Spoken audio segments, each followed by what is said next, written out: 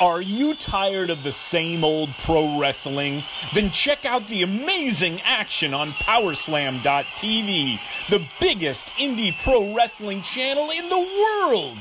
Get over 4,000 hours of the best pro wrestling events from over 110 of the biggest names in the industry from over 15 countries around the globe. Get your free trial today at Powerslam.tv. The following is brought to you by the Social Suplex Podcast Network. Hey, this is Scott Norton, and you're listening to Keeping It Strong Style.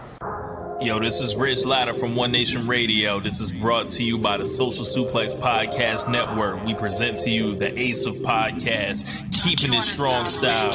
Let's go. It's the Ace of Podcasts, keeping it strong style. Covering New Japan, they ready to hold it down. Jeremy Donovan and the young boy Josh. Come and hit a job out in Barrio the Frost. From the Tokyo Dome over to the G1. Social Suplex is the network where we can get it done. I'm a chiller and let them have it, cause this is just an intro. Keeping the strong style, six stars from the get go, boy. Yeah, from Tampa Bay to the Tokyo Dome, this is Keeping It Strong Style with your hosts, Jeremy Donovan and the young boy Joshua Smith. And thank you for listening. Welcome to Keeping It Strong Style, the ace of podcasts on the Social Suplex Podcast Network. Jeremy Donovan here with the young boy Josh Smith. On today's show, we are joined by Lord of Pain Radio's The Implications, Matthew Maher. We'll be previewing Royal Quest, the Young Lions Cup, and answering all your questions, also covering all the latest news in the world of New Japan Pro Wrestling. You can support our show by subscribing to the Social Suplex Podcast Network on the podcast app of your choice and leaving a rating and review. You can also get all the podcasts and columns over at socialsuplex.com. This episode of Keeping a Strong Style is brought to you by Powerslam TV. Powerslam TV is an independent wrestling streaming service with over 5,000 hours of wrestling from companies all across the world. Use the promo code Social Suplex to get your first month free of that service. Also, make sure you check out our Pro Wrestling Tees store, prowrestlingtees.com slash social suplex. That's where you can get your official Keeping It Strong Styles t-shirt, as well as other t-shirts from here on the Social Suplex Podcast Network. And like I mentioned in the in, in the introduction, we are joined today by Lord of Pain Radio's Imp. How you doing, man? Nearly a slip of the tongue calling it an imp introduction. I can't believe say it. An imp introduction for the, for imp. uh, yes, it is hot, and as an Englishman, my hot bar is a lot lower than yours. so yeah, uh, yes, I am. I'm happy to be on the show. Uh, yes, excited to talk some New Japan. But compared to on my own show where I can talk about whatever I want. so. Yes, uh, Imp's Lord of Pain Adventure. That's the show, right? That's the title, right? Yes, I checked. The name used to be Perfect Ten Wrestling because I did it with someone else, and we were the only show because we went out on Thursdays. We decided to start incorporating NXT. So we thought, oh yeah, can put, Tye Dillinger was in NXT at the time, so we thought, yeah, let's call it Perfect Ten Wrestling. Who's and Ty then, Dillinger? I mean, what's he, what he called now? Um, Gavin Spears. Gavin Spears. I'm calling the ECW name. the ECW name, yeah. the what was that? The uh, the new talent initiative that uh, they were doing. what, what, was his name when Shawn Michaels uh, super kicked him backstage? Like Stan, right? Yeah, he's oh, like, "What's your oh, name?" Yeah. Stan. I kicked Stan. you just made me super kick Stan. yeah.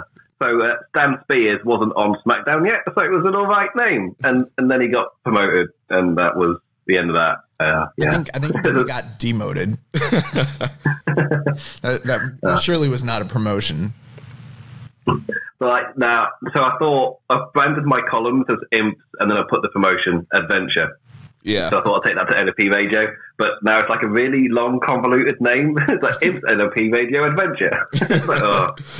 I've toyed with the tongue. I've toyed with imp on LOP it's quite fun to say. Ooh, I kind of like, like that. Impanellope. Yeah. Impanellope? Yeah. Yeah. Sounds like a drug. Impanellope.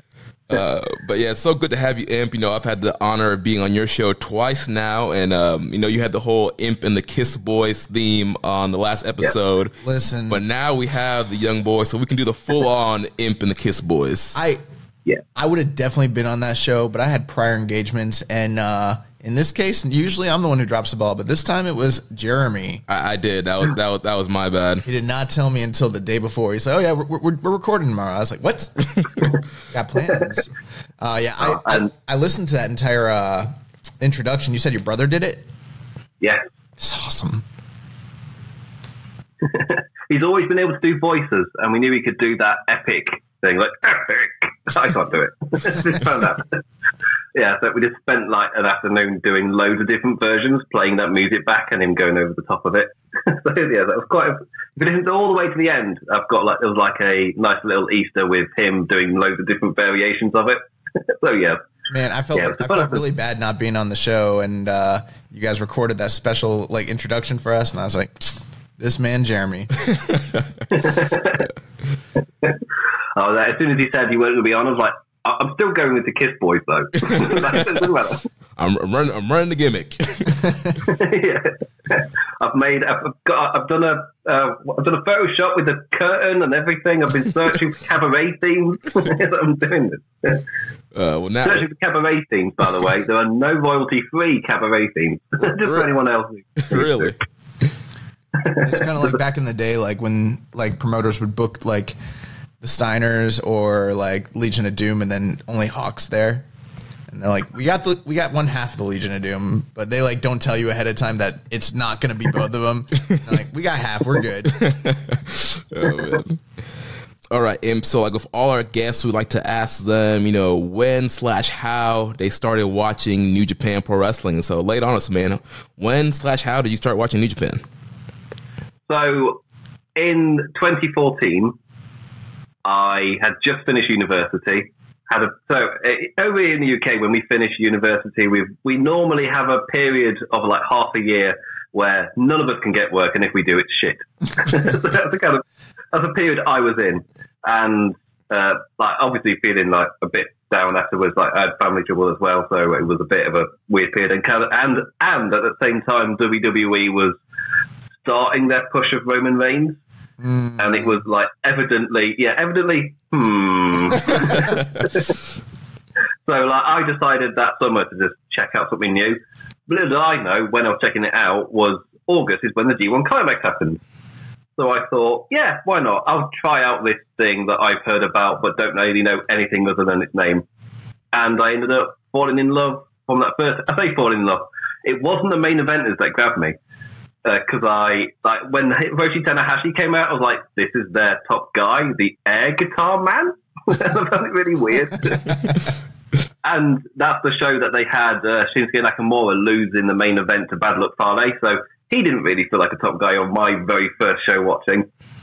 But like the overall presentation and like everyone else on the card and just that feel of you get an amazing feel for all of the characters throughout the tournament. That that just grabbed me. And like whenever anyone's asked me like how, how would you recommend getting into New Japan, like, I always say like start with the G1 climax, just because you'll learn all the factions, you'll learn all of the characters, and that's like one of the hardest bits to grasp about New Japan if you're just watching the big events like Wrestle Kingdom or Dominion. But you start to go to G1 climax, you learn all of the lore. it's, it's draining. It's difficult, often quite difficult to keep up with, but you'll get like a massive grasp of the promotion by the time you finish. Yeah, it's a great way to um, you see pretty much all the top guys, learn all their maneuvers, entrance songs. Yeah, I had uh, two natural implications. Implications. oh my gosh. Uh, no, I had I had two natural inclinations to uh, to what you were saying there. Like when you were, you started like mentioning why Bad Luck Fale went over like uh, Nakamura. I wanted to like Meltzer explain for a minute. Well, you see him. The reason why Fale went over there earlier in the year with the New Japan Cup. No, no, I'm just playing. But um, the other thing too is uh, I've actually always said the opposite. I've always said like that people shouldn't start with the G1. It's too much. It's too daunting. Maybe start with Wrestle Kingdom, ease their way into it. But I'm starting to find out that I'm wrong and you're right because we've got friends who came in literally at the G1 and they loved it. And you you actually probably have a, a really good point there. I think for a lot of people, the G1 is their like launching pad into New Japan, and that's probably if if you can keep up with it, yeah, absolutely. Yeah, and it's the thing that converted Doc into liking Tomohiro Ishii. Like, finally, we got Oh him. my God. Yeah, I- finally understand. Yeah, I remember Rich and Doc is having conversations, and Doc not getting Tomohiro Ishii, and Ri- Rich Chad didn't like Ishii. he didn't get him. He didn't. Under, he didn't understand fighting spirit, and and it was like, how do you not like Ishii? And you know, me and Rich would talk about it and just be blown. And then finally, you know, G one happened. You know, the the dust was you know cleared out of the, of the Doc's eyes, and he finally understood the magic of uh, Big Tom, uh, Tomohiro Ishii. So Wow. He had his paw on the road to Damascus, man. the, the, the, the wool was pulled from over his eyes, and he saw the glory that is Tomohiro Ishii. That's crazy. Also, a uh, columnist's dream, Tomohiro Ishii, because he's got so many different nicknames you can call him. Like, oh, he's Japanese and he looks like a potato in the fridge. He's got no neck. Like, oh, it's glorious.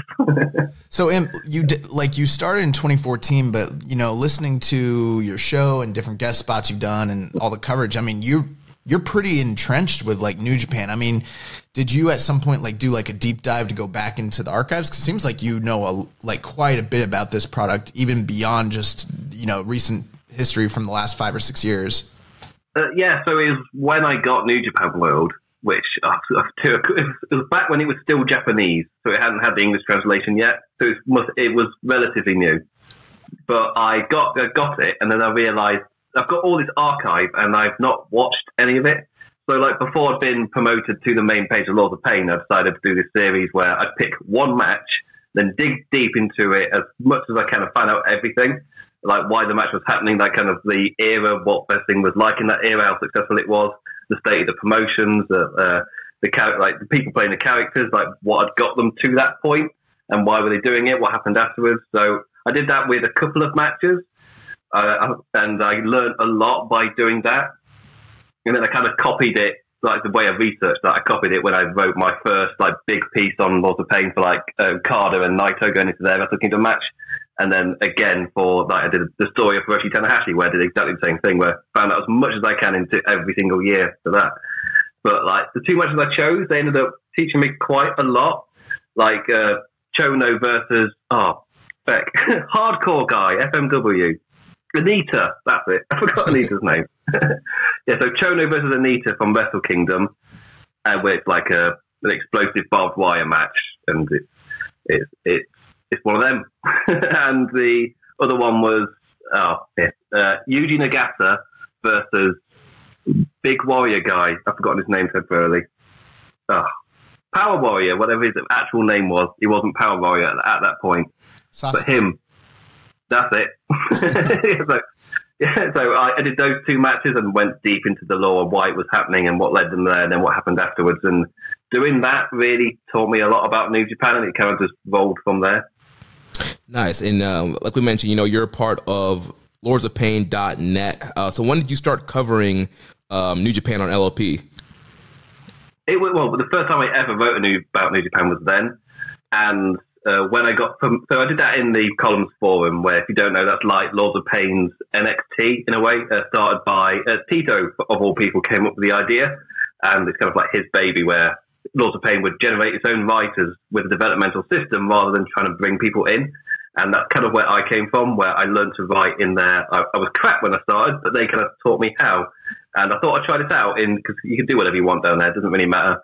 Yeah, the Then uh, got Yeah, I Oh, mean, yeah, yeah. Uh, the LP forum is a great place. I've kind of had my few stints in there. I was writing my uh, WWE G1 uh, fantasy um, series at one point. that up anymore. You never 20 finished it. in 2017, which I failed to finish. I mean, Trying to figure out who's going to win the G1 that year, AJ or Seth. but yeah, it's been a great place. I, I dropped my Jay White column I wrote uh, this year on there. So yeah, the LP forum. If you're a writer and you're trying to you know uh, hone your craft, the LP forum is a great place to go in. A lot of guys, you know, Imp and a lot of guys, Doc, are in there to kind of help you out, give you some advice, and you have the chance to be promoted and be on the main page. LP's been around forever. I remember like literally watching a Nitro from like 97 and someone's got like Lords of Pain, Lords of Pain.net like on the, or is it .com? yeah, Dot net. Dot .net. Yeah. Yeah. They, they literally have like a, a lime green sign that's like says Lords of Pain. Pain.net and it's like 1997. I'm like, wow. Yeah, and you know, it was it actually, you know, our, you know, I think it's no, you know, surprise or any, you know, revelation. We have a, you know, Social Suplex and Lords of Pain have had a good relationship now for quite a few years, and it was actually our relationship with LOP and the Doc that kind of uh, branched us into doing uh, Suplex Mania this past April in New York. So, you know, big love for all the LOP guys, and love the kind of thing we have going on here. Uh, yeah, uh, but um, so when I got promoted to the main page, like no one was writing about New Japan because, like, as we've talked about the history of LOP, it's primarily an American site, and really they only talk about WWE. Like some writers have tried other promotions, but it gets like no reaction. Yeah. So I decided when I got promoted, like, why not try writing about New Japan? It's getting a lot of steam. It was going into Naito Okada, like that is that was a big one. so the Yeah. year after Okada Omega as well. so it's like it's not a bad time to give it a go. Uh, it's just like, like it's a known thing. I got quite a few emails when I started, just saying thank you for writing about this, even though like my columns got like a quarter of the replies reviews. but yeah, I, I get, I get, I like, I like all of my uh, kind of replies. I think commenters and everything. It's uh, I've got a lovely crop because it's not really, it's a smaller crop, but it's a lovely one compared to other places where if you're like bashing WWE, like uh, also, also there was a, a writer called uh, Triple R or just Rob, and he gave me some really good advice of um, like be, like who you write, how you write will bring in that kind of commenter, that kind of reader. Uh, so I've taken that over to like the podcast world as well, where like if you write or talk negatively, you will attract that kind of person. So I've always my my my podcast has essentially just been a lovely cup of tea and a chat. Yeah. so so it's a nice, relaxing kind of atmosphere. And the same with my columns, where I try and be jokey. If I'm critical, I'll try and do it in a comedic way rather than just calling it crap. Uh, that, that that attracts that kind of person, and I don't really want that kind of commentary or that kind of atmosphere. So uh, yeah, that, that I don't know why I bothered up. Trust yeah. me, I've had to learn the hard way. I went in on Mox and uh, people didn't like that. Oh man. so, uh, Imp, who's your uh, favorite New Japan Pro wrestler right now? Well, right now, well, it's, it's quite the, the adventure. I've got like a timeline. See, Let's see what's my favorite. I prefer all time. Yeah, so yeah, tell us your favorite of all time, and then maybe your current favorite. Right. Oh, right. So of all time, I'd probably go with Shibata. Purely because of uh, like when I started, he was rising. He'd already returned uh, like the year prior, and he was like rising up the field, proving himself. So that's when I saw him. Uh, like he just had his matches with Ishii, like the classics. Well, the first like the year before, it was just leading into his classics at Wrestle Kingdom. So like I'm learning about Ishii as he's having his not Ishii, Matt Shibata, as he's ma- having his amazing matches against Ishii and his really strong tournament in the G1. And they're explaining it all as well, which is really useful for me. It's like he's got a lot of story going on just because he was like returning still and he was proving himself against Goto and Tanahashi and everyone. So it was like a really interesting watch around then. And mostly because like my immediate favorite when I first started watching was Honma. Like he was over like hell. Dude, in this first Kokeshi, Kokeshi will make you happy. Bro, I, I I've been trying to like explain to Jeremy how over he was back then, like, and I'm I'm like, bro, it was like a Daniel Bryan movement when it started, Yeah. like it really was. Honma Mania was running wild. Honmamania was a was, Yeah, it was. that was a big deal. it was like um, the feeling was he was like the most over person that wasn't getting a push. Like he was getting like, incredible reactions for everything, and they're getting really behind him when he looked like he might actually win a match. Because spoiler, he didn't do that well. No. No, so I love it when he goes to the Kokeshi off the top rope and it's so slow, and the guy's like, "Oh no, he moved I'll again." move. Bro, that series of matches him and Ishii had, and that time when he finally beat Ishii in the G1, like, well, what a freaking moment! Like, yeah, I, I love I love that series and that whole period of Honma's career. So like because that's when I was getting into New Japan, I ha- I hold Shibata in such a high esteem just because he had those classics whilst I was getting in. And then of course there's the amazing match with uh, Ishii at Wrestle Kingdom, and then the arguably even better one they had like a couple months later. Uh, so I I envision him in really high regard. Uh, as of like the best currently, because of course he's not wrestling now. Um, I want to say Okada, but the guy I pop for every single time is Yano.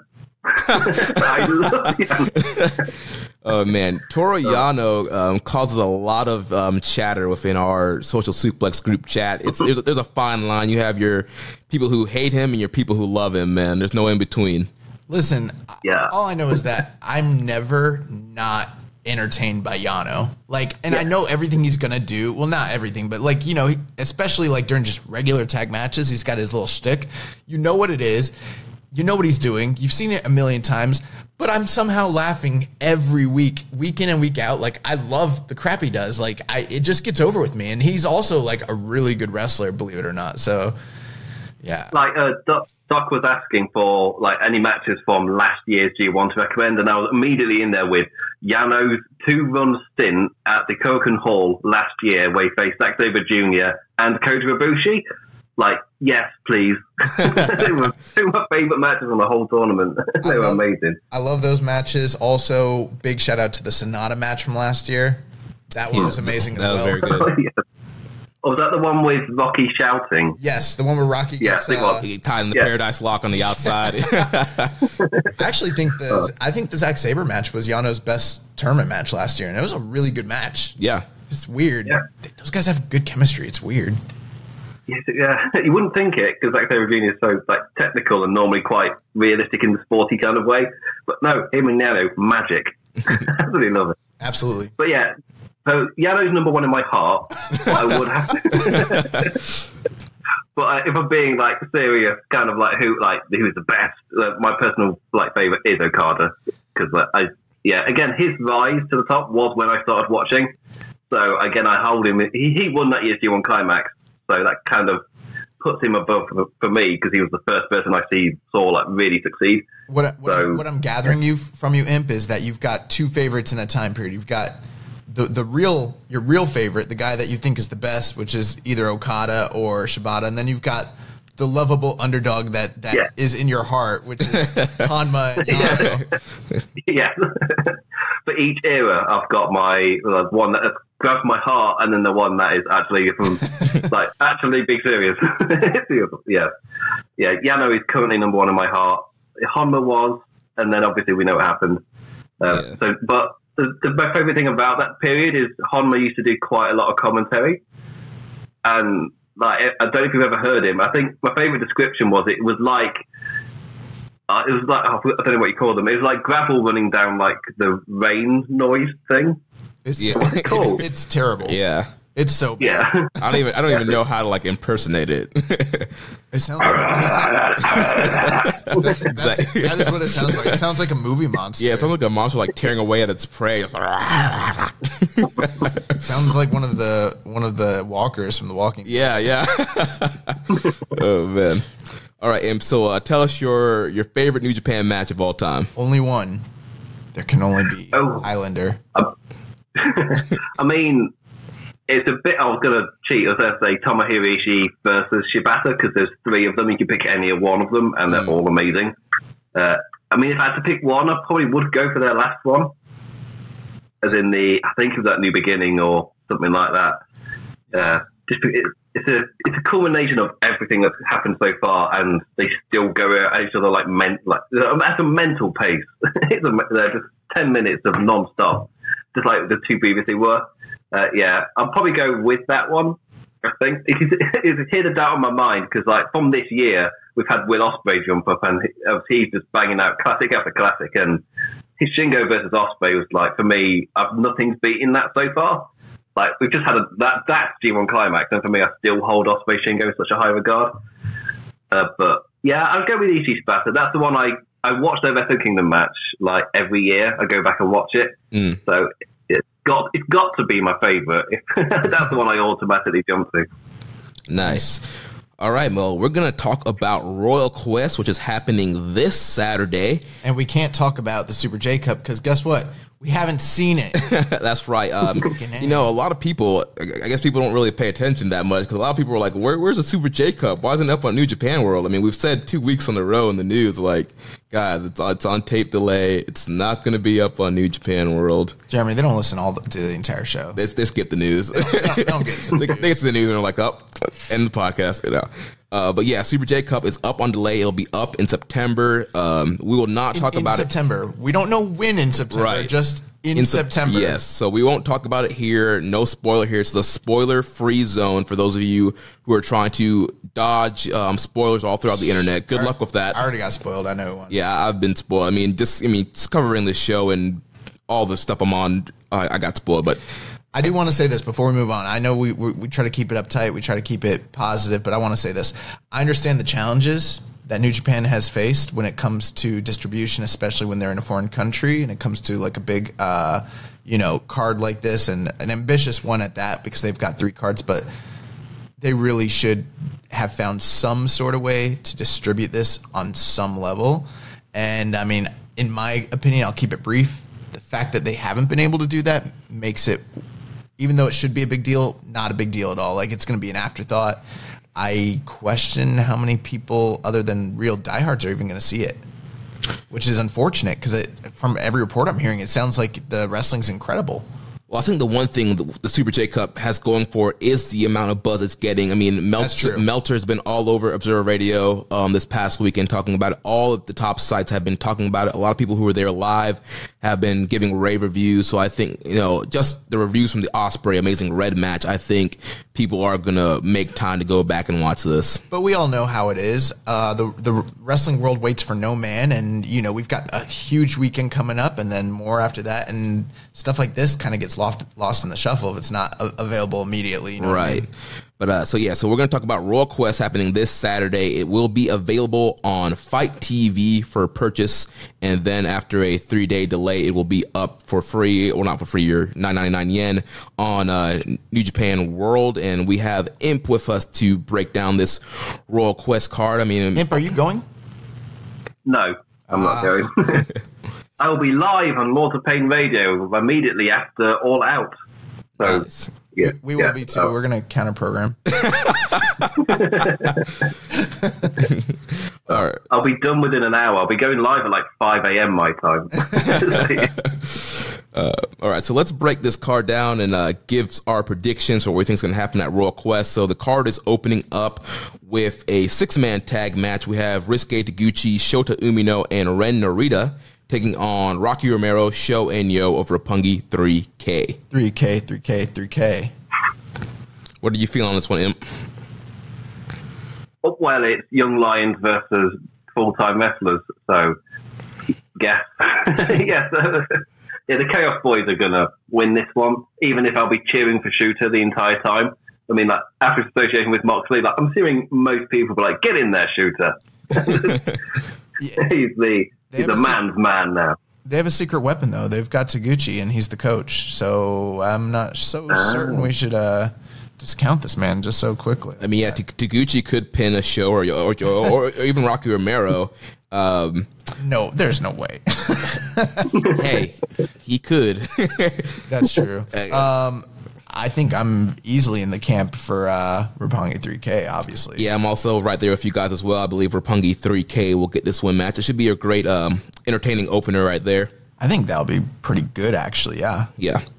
So then, yeah. we, also Taguchi versus Romero, we're going to get some more of that sports entertainment we got doing. Plus, he can make rugby references, and we'll get it. Oh, that should be a reaction. yeah, I expect some uh, great uh, UK chants and singing on this card. uh, so next up, we have the Golden Star Kota Ibushi teaming up with Juice Robinson to take on the Bullet Club team of Yujiro Takahashi and Hikuleo. Young boy, I'll throw to you first. Yeah, so this is an interesting matchup. Um, it's not one I'm necessarily looking forward to, to be honest with you. Um, the one thing that's on my mind is kind of tracking the progression of Hikuleo because he's been on excursion over in Rev Pro.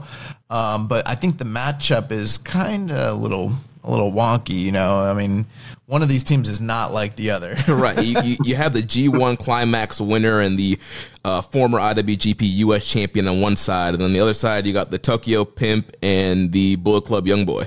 Now, if P- if Pieter's going to be there, then I'm definitely looking forward to this. we'll see if she uh, catches a plane. Well, last time he got two random. Uh, I think the commentators were saying he just went outside and grabbed two women so they play up the fact that he's a player and he can convince any woman to do the role. they might do that again. so, yeah, it was it was interesting last time. I'm starting to I'm starting to grow conscious thinking about like a pimp character in 2019.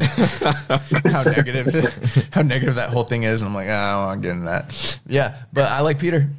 Um, but yeah, I think that this match will be somewhat interesting. Um, I mean, why do you think that they have? I mean, is this just like a throwaway? Why do they have Ibushi and Juice going up against Bull Club members, or is it just just cause? Uh, you know? I think it's just because they need to, to get Ibushi and Juice on the card somewhere. Um, they can't tease Ibushi and Okada because Okada's defending the title. All right. Um, yeah, so I guess that was the best spot for him, I guess. Well, I'm going with the good guys here. Ibushi and Juice, Imp. Ibushi and Juice. Yeah. Yeah, also going to Bushi and Juice. I mean, I I'd be very uh, highly unlikely for the G1 Climax winner and the number one contender for the U.S. title to take a L to um, to the lower men on the Bullet Club side. You mean the former never openweight champion, Yujiro Takahashi, That, that's right. Yeah, I forgot he was a former Never champion. from God knows how many years ago?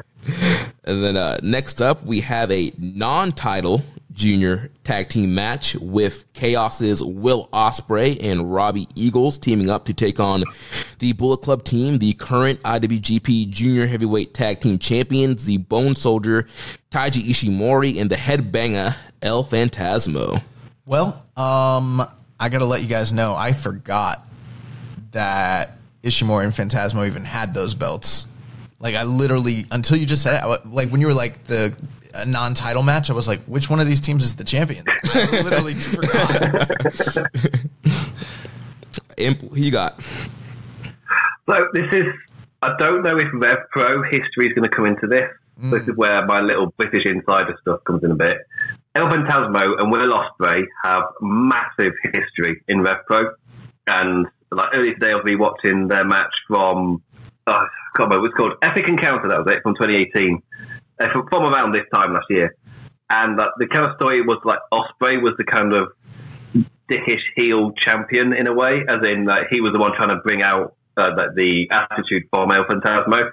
So like if you look at it where it is today, like this match could not be any more opposite positions with Will Ospreay as like the conquering hero. El El Fantasmo obviously he's a Bullet Club's number one dick at the moment. So it's like complete role reversal uh, in the space of like one year. So yeah, those two have got, and those matches are highly acclaimed as well. They've had more than one, Yeah. Uh, and uh, so there's a lot of history there in just in that the fact they put on really really good matches, and they've now got the history in New Japan, which has completely twisted everything. And El Fantasmo is hopefully not going to get his theme muted. That would be a irritate. I, like, I love his new theme. Yeah, his new theme's awesome. Yeah. Yeah, so uh, that's why I'm confused on this one because I'd normally go with Ospreay Eagles. However, if the Rev Pro history comes into it at all, a lot of their stories El Fantasmo rising up to Ospreay.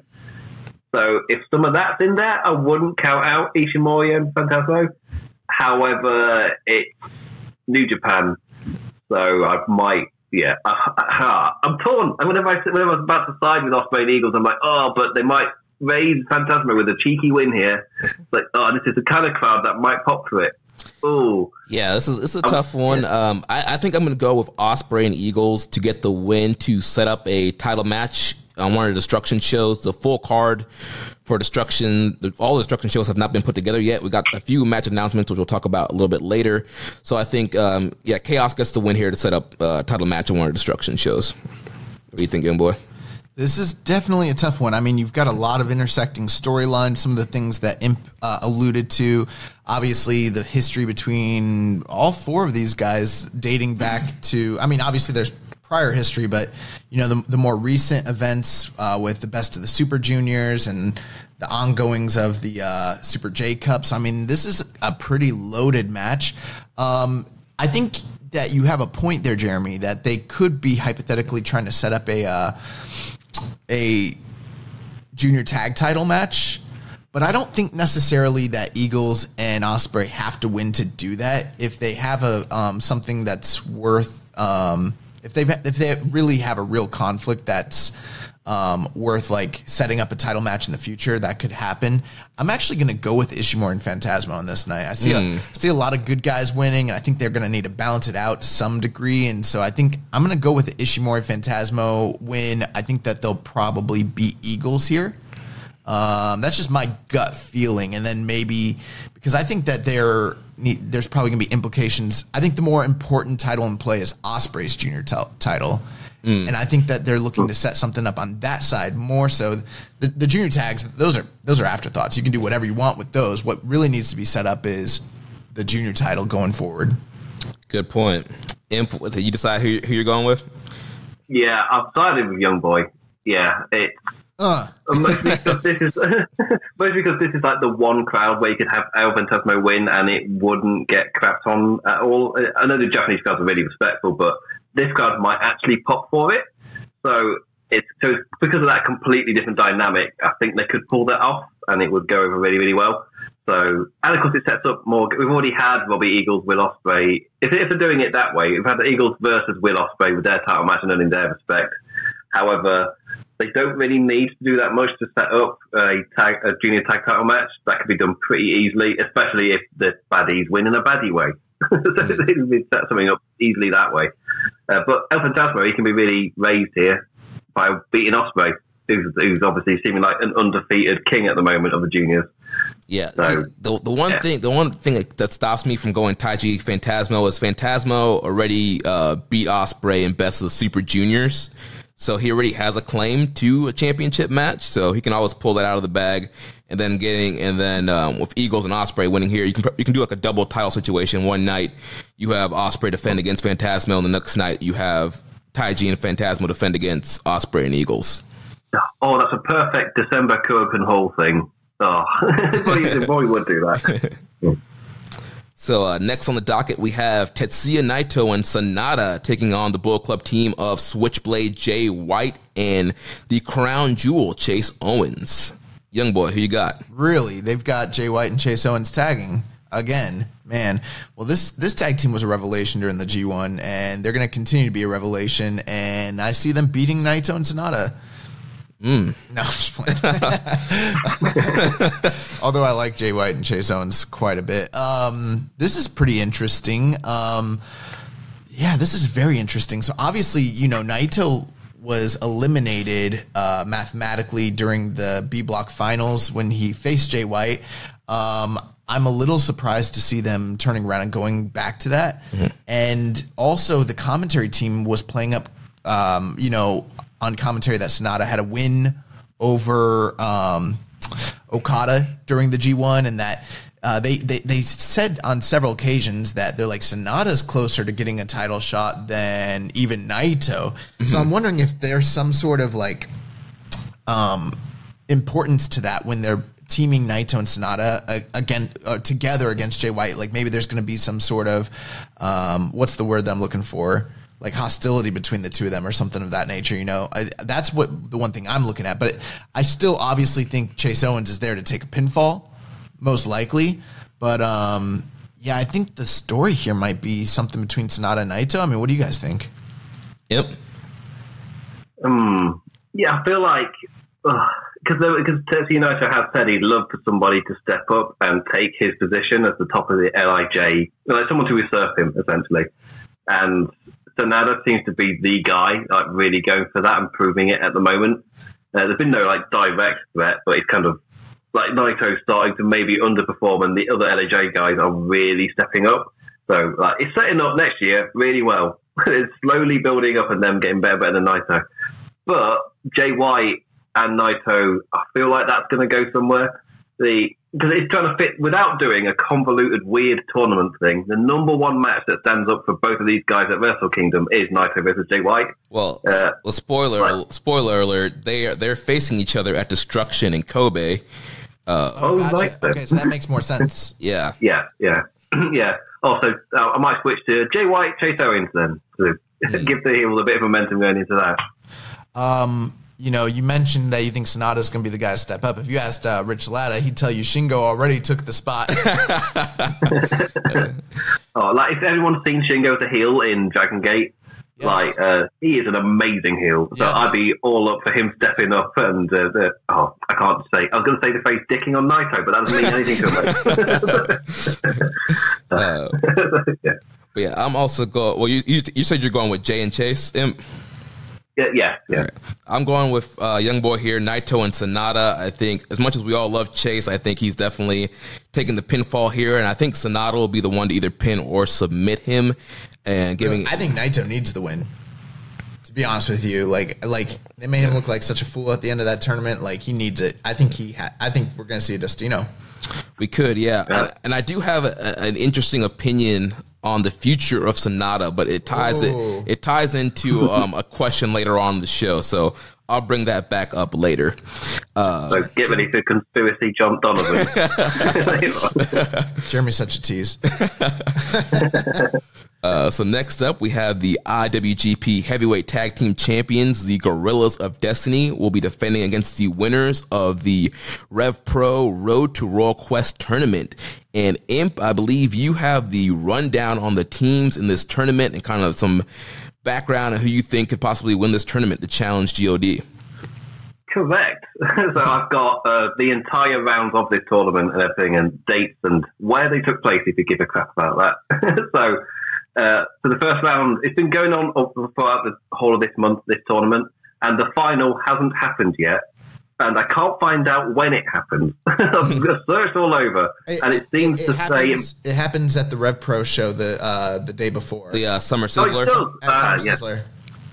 Yeah, so that's what I've got noted as August 30th when it takes place, but I didn't find any official thing, but obviously it is out there. It didn't look good enough. so, so yeah, so the final is yet to take place.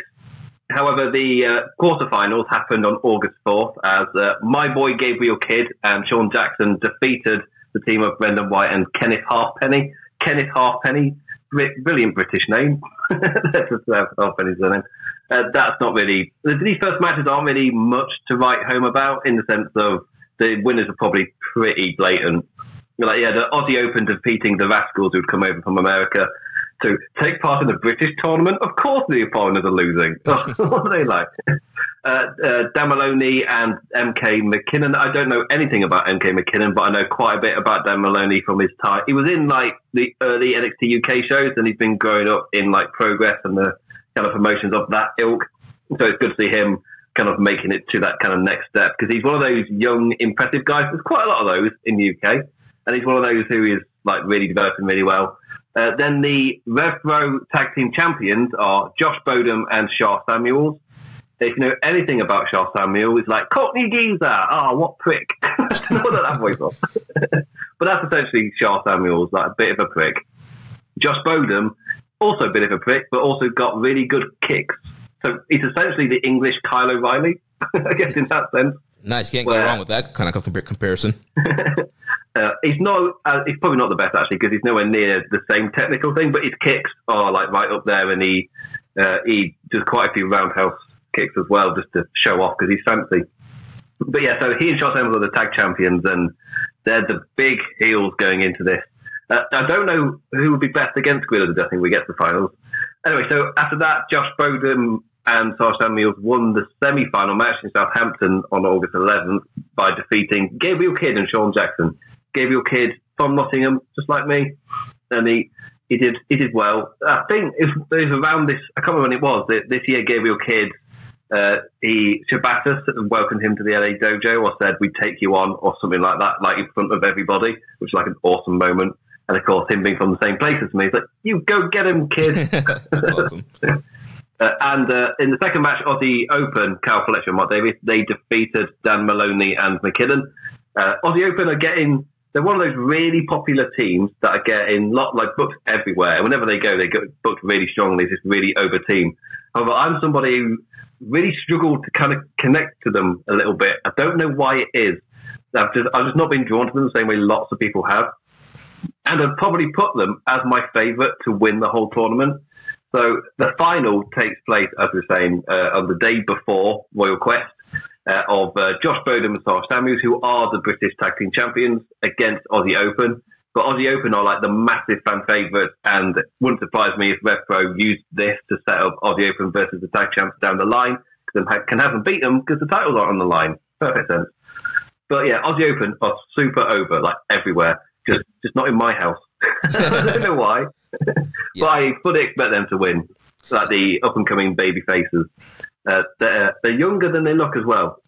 Uh, maybe that's an Australian thing. I don't know, but yeah, fully expect Open to win and face Gorillas of the Destiny at RevPro because they're the popular team, and it'd be weird to have the heel team win to face Gorillas of the Destiny. That's a bit of an odd matchup. Yeah, that would be an odd matchup. I like um, Aussie Open. I've had the chance to see them wrestle a couple times live now, and they're always been uh, great. And I think having a fresh uh, babyface team like them against God would be probably the best call. Yeah, I um the first time I ever saw Aussie Open, I was like, I don't really get this. These guys kind of seem swaggerless to me. There's not much to them.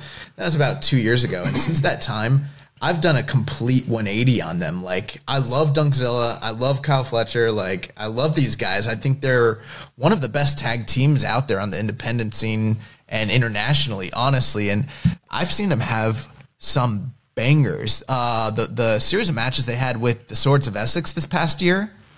Oh my gosh! Like some of the best tag team wrestling in the world that nobody is talking about. Um, so I I've been wanting to hopefully see these guys uh, at some point get signed somewhere. They, they to me they're like one of the last really popular tag teams that are unsigned. And um, I would love to see them like you know dip their foot in the water and come to New Japan on some level. Um, I think that would make a lot of sense. I don't know if you know they can afford them or not because they're probably a pretty hot commodity out there on you know on the free market. But yeah, that's who I want to win, and I would like to see them uh, you know challenge God for sure. So, so So, because of all their time in uh, like progress wrestling, especially, I just assumed they were going to get WWE'd, but no, they haven't been. So it is wide open for anything to happen. Yeah, they're, they're I get, are they are they done with progress now?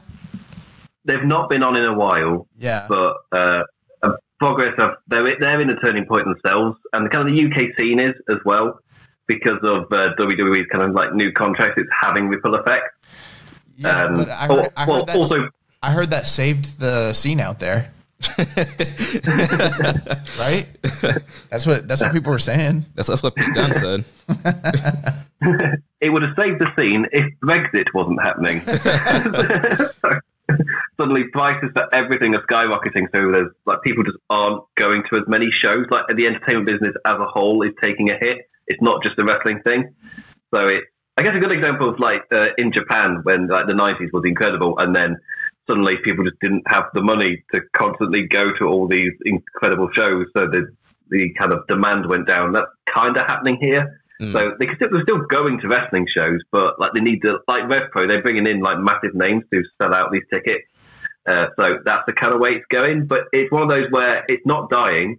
It's just that people are having to be a bit more selective now, which when because it's so uncertain the whole Brexit thing. If there is a bit of certainty down the road, it will change. It's just like now prices for everything are going up. So you know that, that's great. That, that's love. That's talk about New Japan again. Uh, so it seems like we're all on the same page with wanting Aussie Open to win and challenge God. Do we think that there's any chance that Aussie Open could beat God and become the new IWGP Tag Champions? I would that- I would love it. yeah, yeah, I, yeah. I'm down for it. Yeah.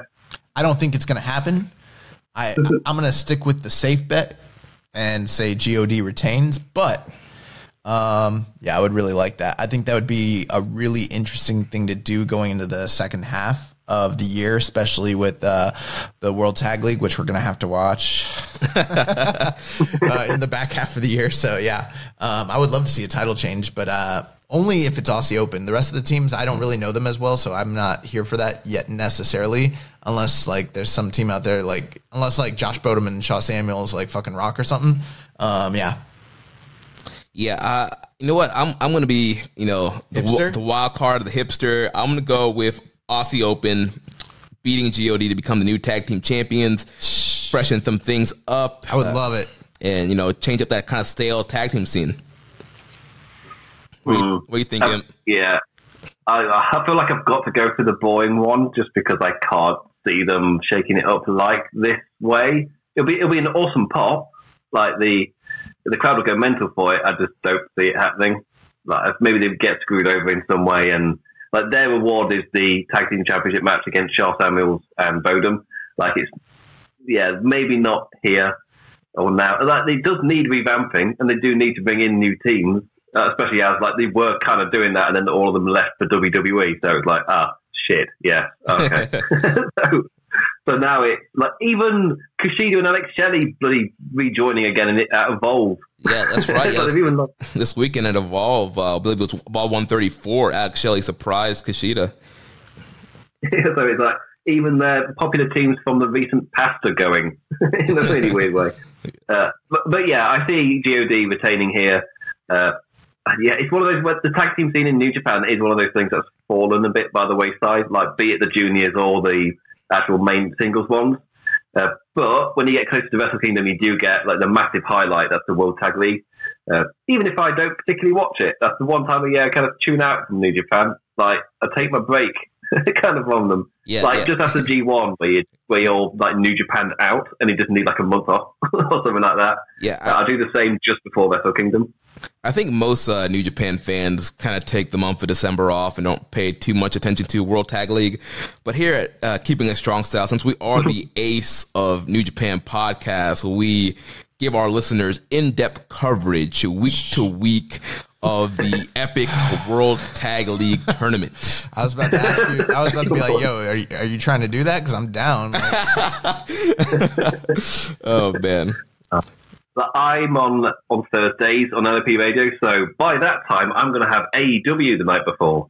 So oh, I'm with like dreamland of things to talk about. Maybe NXT as well, depending on how that works over here in the UK. Because the American way, I wouldn't get it, but I think it's different outside of America because we don't obviously we don't get it on USA. I don't even know if we get it on TV at all. So I think our deal is we get NXT live on the network as if it's normal Gotcha. which is yeah, that's great for us. That means I can actually cover it. If it switches to the American model, then I can kiss covering it goodbye. so, take my money, AEW. You're on free television.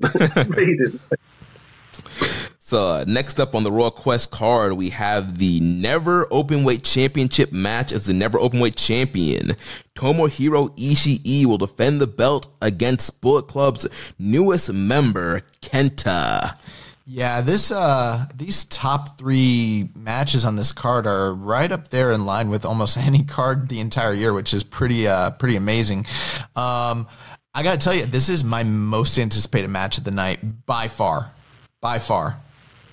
Same here. Yeah, out of all the matches, yeah, I'm definitely looking forward to Ishii and Kenta the most. yeah, definitely, definitely agree. Well, Ishii uh, last year, so on that same show that I was watching uh, with uh, Osprey and Phantasmo, uh, it's the one with the main event of Ishii versus uh, what was his bloody name? Keith Lee. That's it. The two big lads having an amazing ball.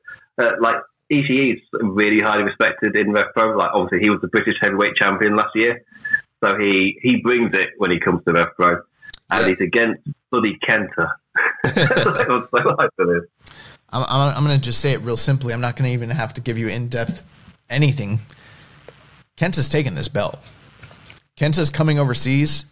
He's going to freaking GTS uh, Ishii, and he's taking that never belt. And it's like emphatic. Like this is the end of of Ishii's reign for sure.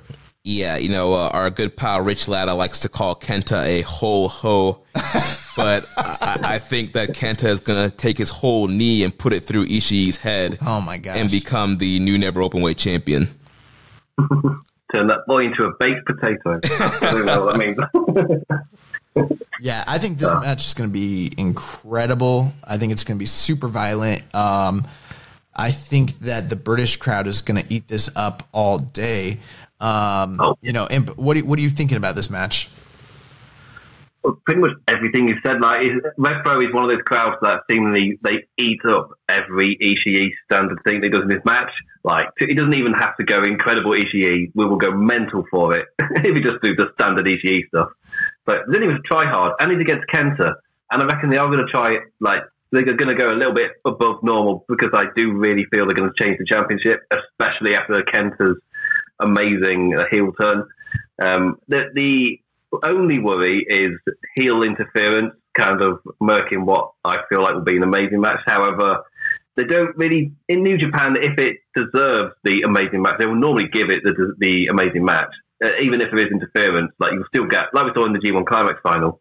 Like there still was interference, but that didn't really detract from the match. In fact, it like really enhanced it and added to it. I'm expecting something kind of similar here, where Ishii fighting up against the odds. Only difference being that Kenta's kicks are too devastating for him, and he eventually doesn't kick out. After, of course, kicking out at one, at least to three of the kicks, something like that. Yeah, he'll kick out at one after like a psycho knee or something. uh, but yeah, I'm sure like uh, Master Heater, Jado, or either maybe even Gedo will be out with Kenta, or, or maybe some other Bullet Club guy will be out with Kenta to try and um, cause confusion, cause uh, distractions, and help Kenta get the win over Ishii.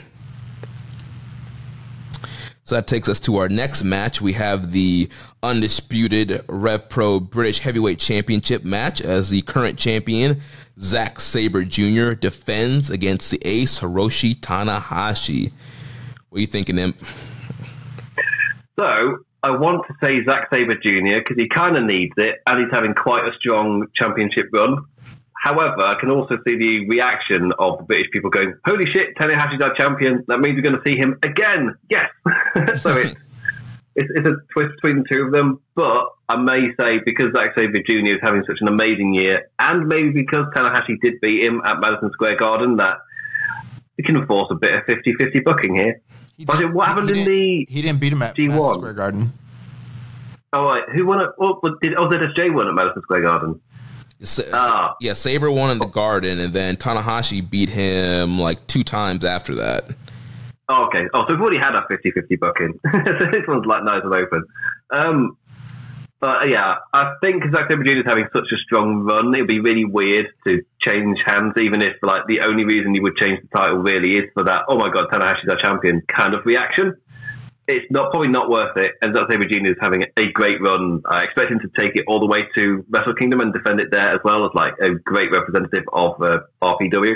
It's uh, it seems, oh, I'm still expecting something where he gets a little bit elevated. That makes sense because he had that amazing New Japan Cup run. And then this year he's he's struggled with Boris Johnson and Brexit, and it's like his life falling apart. I would I love I would love for the like the fact of his character might either succeed next year or crumble depending on how Johnson's prime minister run goes. like just him just saying to Gator, like, oh no, just wait and see how it goes because if it all goes to crap, it would make no sense for me to have a good year. so I don't know. That'd be But hilarious. yeah. yeah, I, I love that about the G1. That's the literal reason he didn't do well because he was worrying about Boris Johnson. Uh, but yeah, but yeah, I'm going with ZSJ to win this one. Yeah, I'm going to agree with you, Imp. I think uh, Sabre is going to take it here. Um, I totally agree with you. Him uh, being the Rev Pro champion, going into Wrestle Kingdom, having a big defense on one of those two dome nights, and yeah, I, just- I just don't know how often Tanahashi could be going back over to the UK. So uh, yeah, I'm going Sabre. And I guess that just leaves me. Yeah, So this is a matchup that I really have enjoyed over the past few years. I mean, there's a lot of history between uh, Zack Sabre and Hiroshi Tanahashi. Um, some of the things that Imp alluded to when it comes to Zack's current reign, and then you know, even from a historical standpoint, I'm not I'm not the biggest Rev Pro mark in the world, but um, I mean, Zack Sabre had a really, really long, I think over a year long reign previous to this. Now he's enjoying another very lengthy reign. I think when it, everything's said and done, they're going to kind of see him as like that company's most prolific champion, you know, just based on the amount of defenses he's had, the amount of, you know, business that he's, you know, drawn to them and, you know, the length of his title reigns for sure.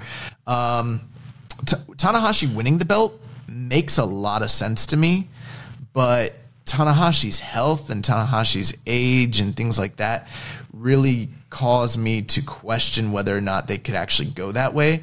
But if you, here's what I will say I'm going to go with Zack Sabre because it makes sense.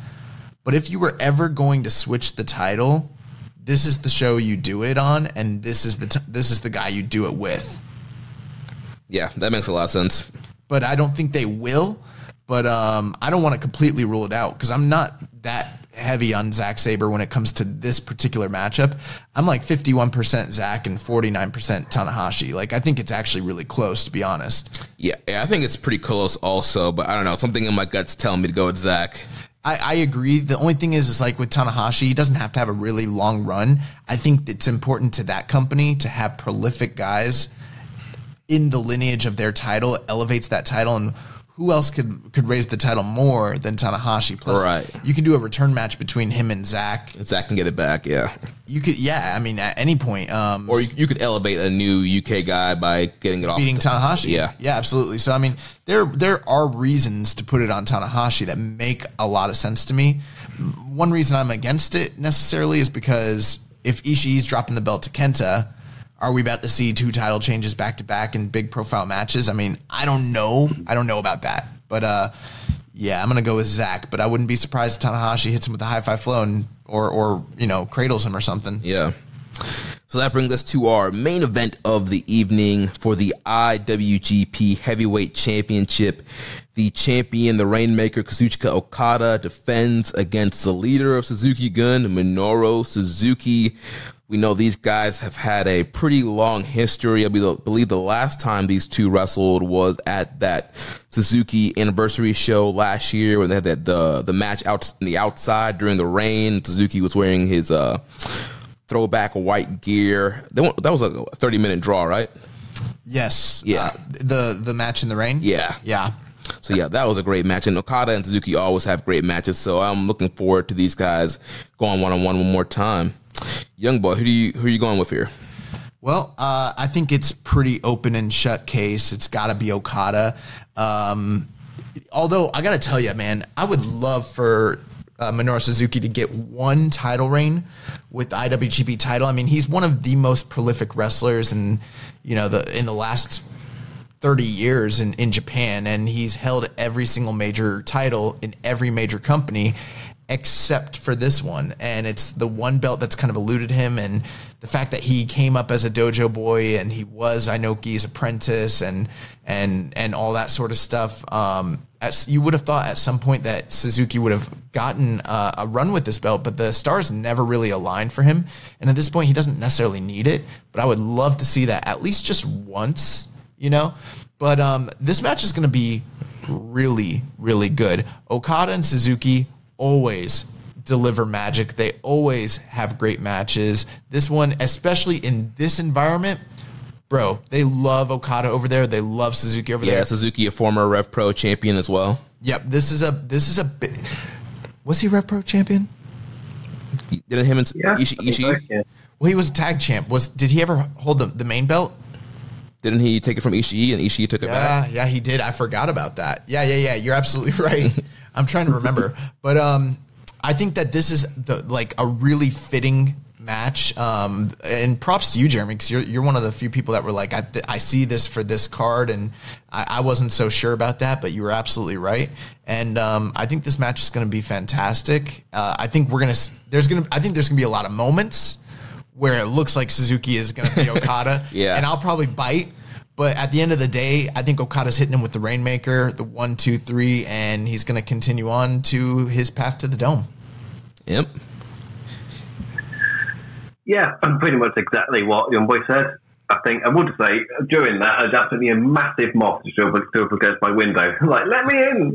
so I'm still a bit heart beating. it's totally fine. Uh, yeah, oh, uh, easily Okada is going to be beating Suzuki here. It, it's not outside of New Japan law to have somebody like have a thank you reign. I'm not sure if they've ever done it like after the G1 climax on that road to Wrestle Kingdom though. And I think the last time they did it, it was uh, like Manabu Nakanishi. So I'm talking quite a long time ago. so yeah, I don't really see it uh, happening here. Uh, I know Suzuki is yeah definitely a former British heavyweight champion. He's regarded quite highly in Rev Pro. Whenever he comes to Rev Pro, he normally main events. Like he's held in such a high regard there, and I yeah I can't see Okada losing though. They're going to build him up all the way to Wrestle Kingdom. And Suzuki is there's somebody that he always has amazing matches with. So it and they've been highly um, kind of bringing up the match in the rain in the build to this one. So they're kind of building it up to. Do you remember that match in the rain? Yeah. now they're going to do it again. like, oh, okay.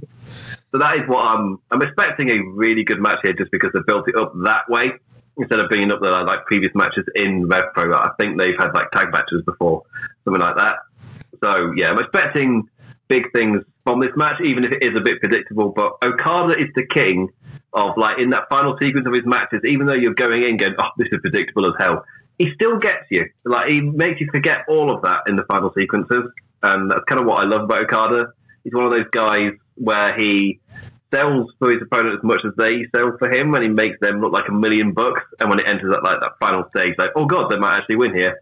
Even if you're like, wait, no, of course they're not. No, it's Okada. Of course he's winning. so yeah, I expect it to be an amazing main event. Yeah, and I'm going with both of you guys. I'm thinking Okada's going to win. This is going to be a fantastic main event, like you guys both mentioned. Um, you know, Okada's so great at selling, and he's going to suck us into the story of this match. I'm, I'm sure Suzuki is going to target one of his limbs and do a lot of submission, a lot of striking, and Okada's going to sell that really well and get you sucked in and make you think that Suzuki actually has a chance of winning.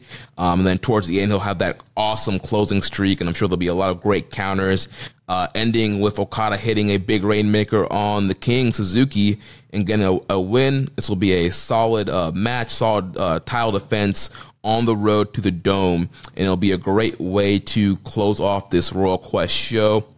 And we do this, have a, this will be, in my opinion, a real man's match. This is going to be the this in my a real man Hall of Fame. Real Man Hall of Fame match, the Rich Latta special. Yeah. It's going to be, uh, in my opinion, the hardest hitting match that um, Okada's had since the Shibata match. And he's had quite a few hard hitting matches, but I think on this night, with this crowd, in this moment, they're going to make it special. Like this is going to be this is going to be a good one.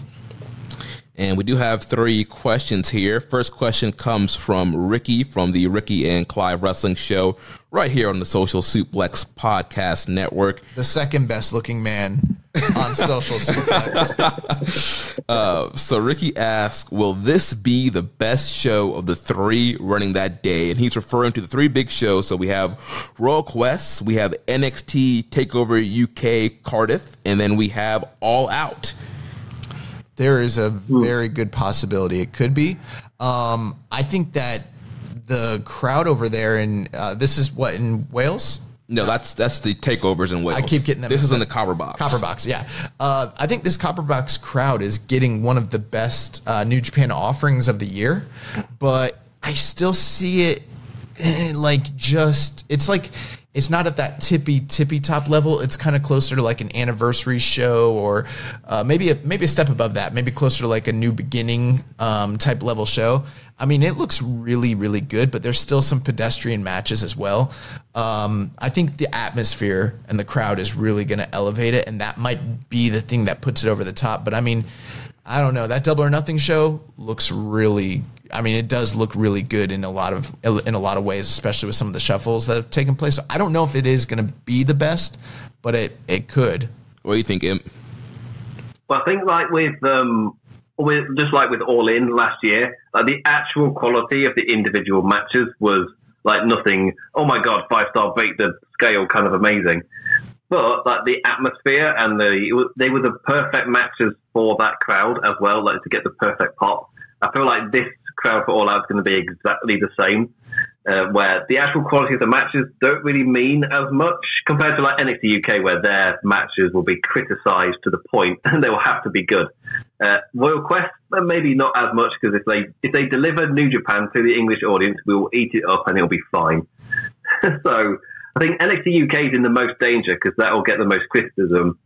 All Out will get criticism, but the actual like I, I would count myself as somebody who's just excited for it and isn't really being very critical of it at the moment.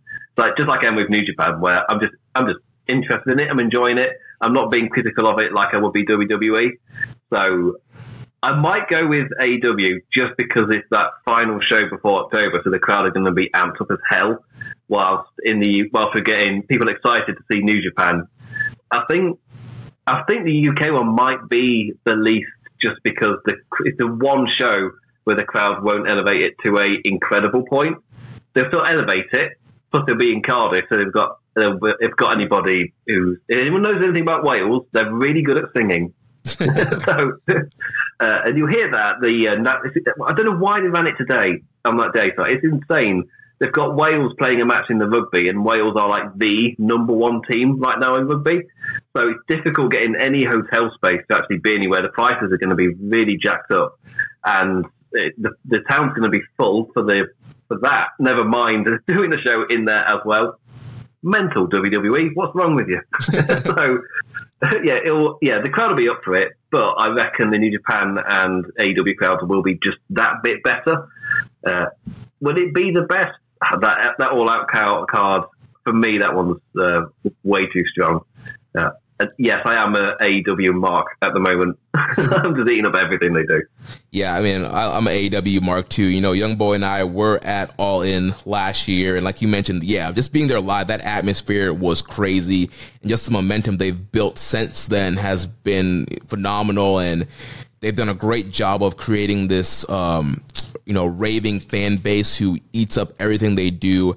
And once again, I think they've done a great job laying out the all out card. And like Young Boy mentioned, that um, you know, that recent additions to the card, I think it's to overall on paper, I think um, All Out has the potential to be the best card. Um, you know, and not to um, forget about you know the UK takeover. I think that card is um, a lot of people are sleeping on that card. I think there are a potential for that card to end up being a pretty great show. There's a lot of great matches on that card. At that uh, Tyler Bate Walter main event should deliver. Those guys always have great matches together, and they've done a great job on NXT UK, kind of building that rivalry up with uh, Mustache Mountain, uh, British Strong Style, and um, Imperium. So I think that main event can deliver. But you know, these last three matches right here on Royal Quest are have the potential to be, you know, four stars and above all three of them. So, um, and you, you got Ospreay on the card too, and he is always balls to the wall, even in undercard matches. So, um, Royal Quest also has the potential to end up being one of the best cards. But for me, if I was putting money on it, I would I would say AEW All Out would is going to end up being the best show from bell to bell perspective. Uh, oh, and my uh, my normal co-host for my like aftershock show, for which I do for AEW, uh, Jan Man, he's going to be at All Out, so I'll be by myself at 5 a.m. talking about the show. oh, but yeah, but shout out to Jan Man, who's uh, I'm very jealous is going to be there live. He was there last year as well, and uh, he did an amazing kind of emotional speech like after he got back. So that I think that'll still be up on the archive for LOP. But yeah, nice. Uh, yeah, yeah, and our, fun, our AEW team, uh, Floyd Johnson, Amy O, and Tiffany will be out there as well. So I'm kind of jealous of those guys too. Uh, we'll be back here um, at the uh, dojo having a watch party and uh, checking it out here. But I think I'm inviting my dad. Nice. I think yeah. Like I was thinking about it today. I was like, should, we're having a party. He should probably come over and watch this. Like so yeah, I'm gonna invite my dad over to watch AEW. Nice. He's uh, gonna be like, "Who are these guys?" um, we got a question from a friend of the show, Dan Coffin. He says, "What up, Dan?" He says, "Which title do you think is most likely to change hands, if any?" Uh, I think we're all in agreement that the Never title will be the title that's most likely to change hands, right? Yeah, absolutely. Yeah.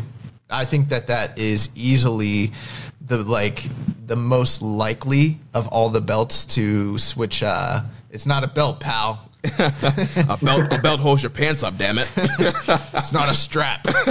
Um, but I think that that's the most likely championship to change hands. After that, I think that I'm more on board with the Rev Pro title switching than even the IWGP tag titles. That's kind of the I would that's the rating I would go. I'd go never, then Rev Pro, and then IWGP tag, and then the IWGP title. Yeah, I agree with that order.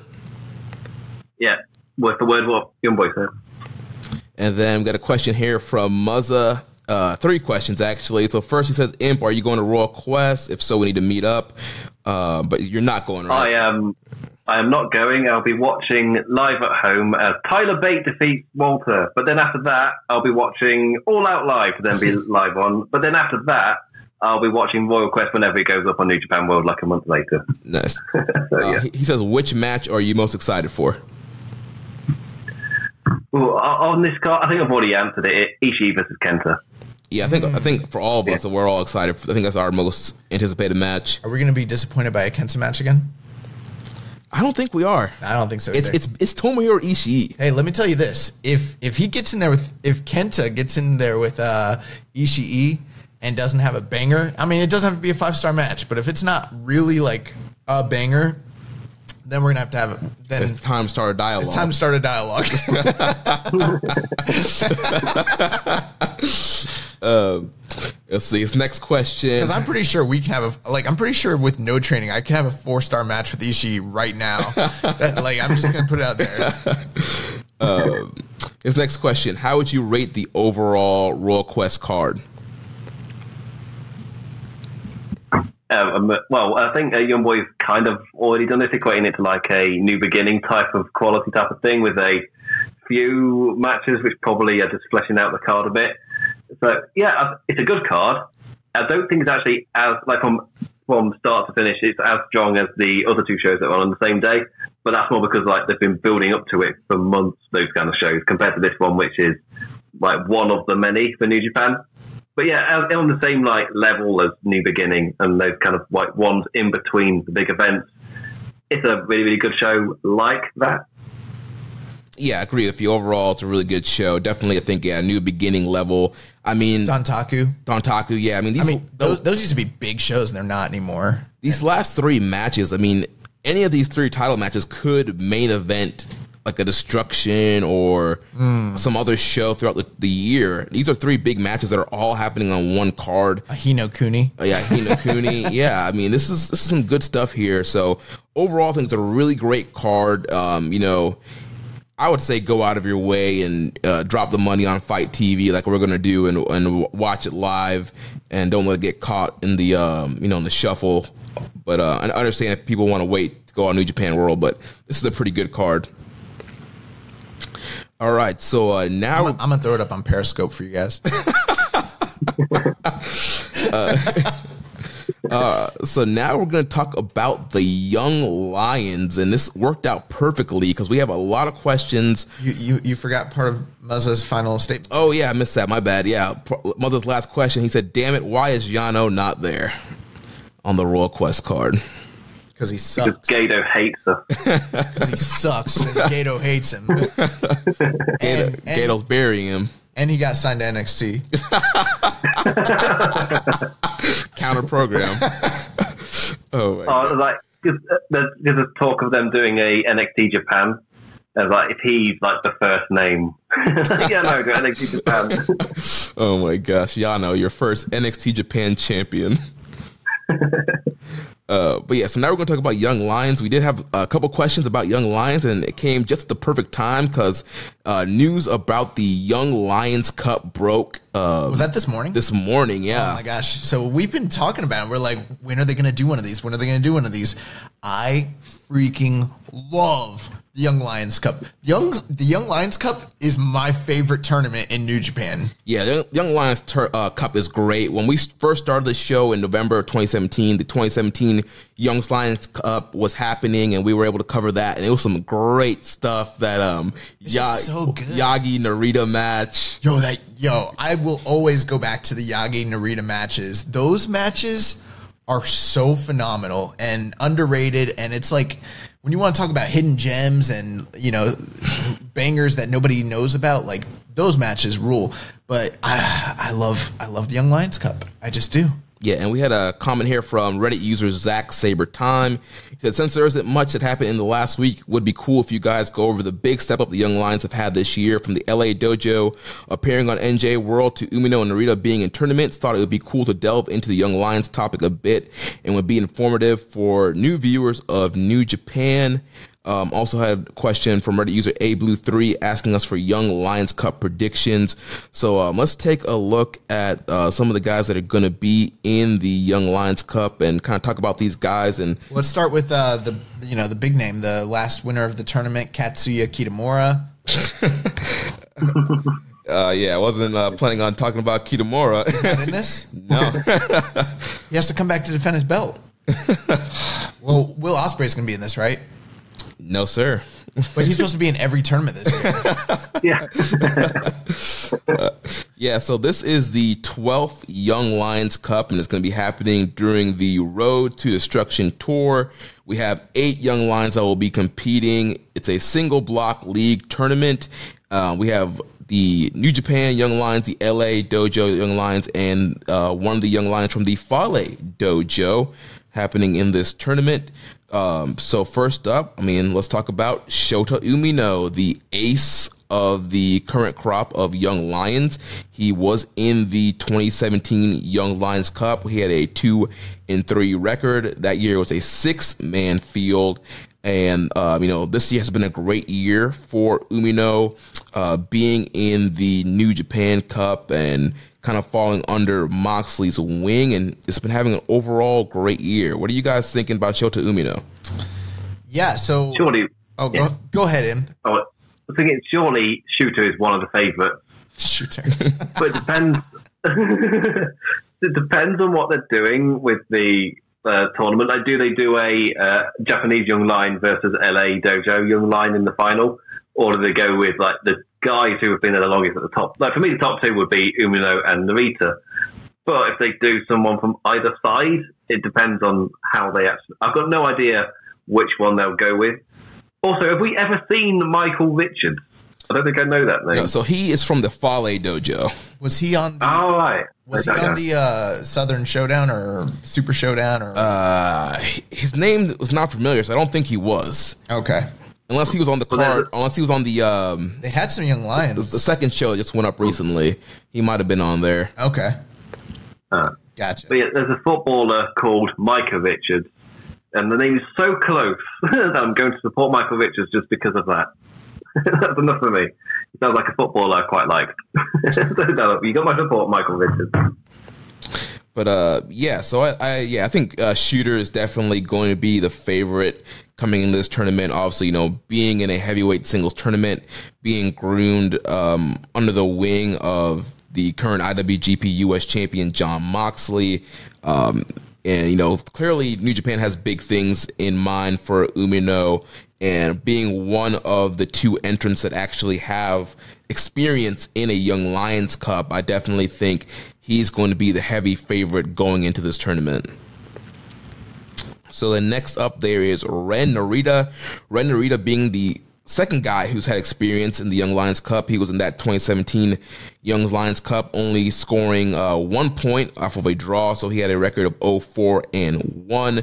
But um, Narita, he got some experience this year in the Best of the Super Juniors tournament um, as a late substitute, but did looked really great in that tournament. Um, you know, busted out that new belly to belly bridging suplex, which has done amazing. And Narita's been one of the young lions that the young boy and I have kind of um, gone to bat for over and over again, talking about how impressive he is. A lot of people, when they talk about the young lions and the young boys, they always talk about um, Umino. They were talking about, some of them were talking about Oka, but everybody kind of seemed to forget about Ren Narita. And I think this guy, technically bell to bell, um, tactician mat work is the in ring best young lion right now.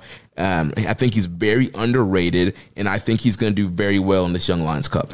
Yeah, I've, I've got to agree with you, and I uh, and it's my fault. I didn't chime in when it came to Shota Umino, so I'll kind of lump these two guys in together. I mean, uh, Shota Umino and Ren Narita, they're the two guys that are in this Young Lions Cup who've competed in it previously.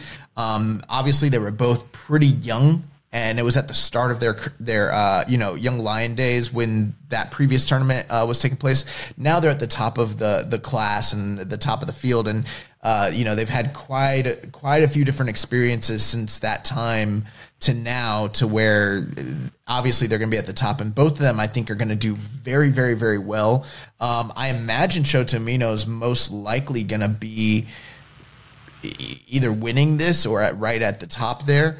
Uh, I could see Narita though doing extremely well, and I, I mean, mo- most of the guys that are in this tournament, I could see him picking up uh, big wins over.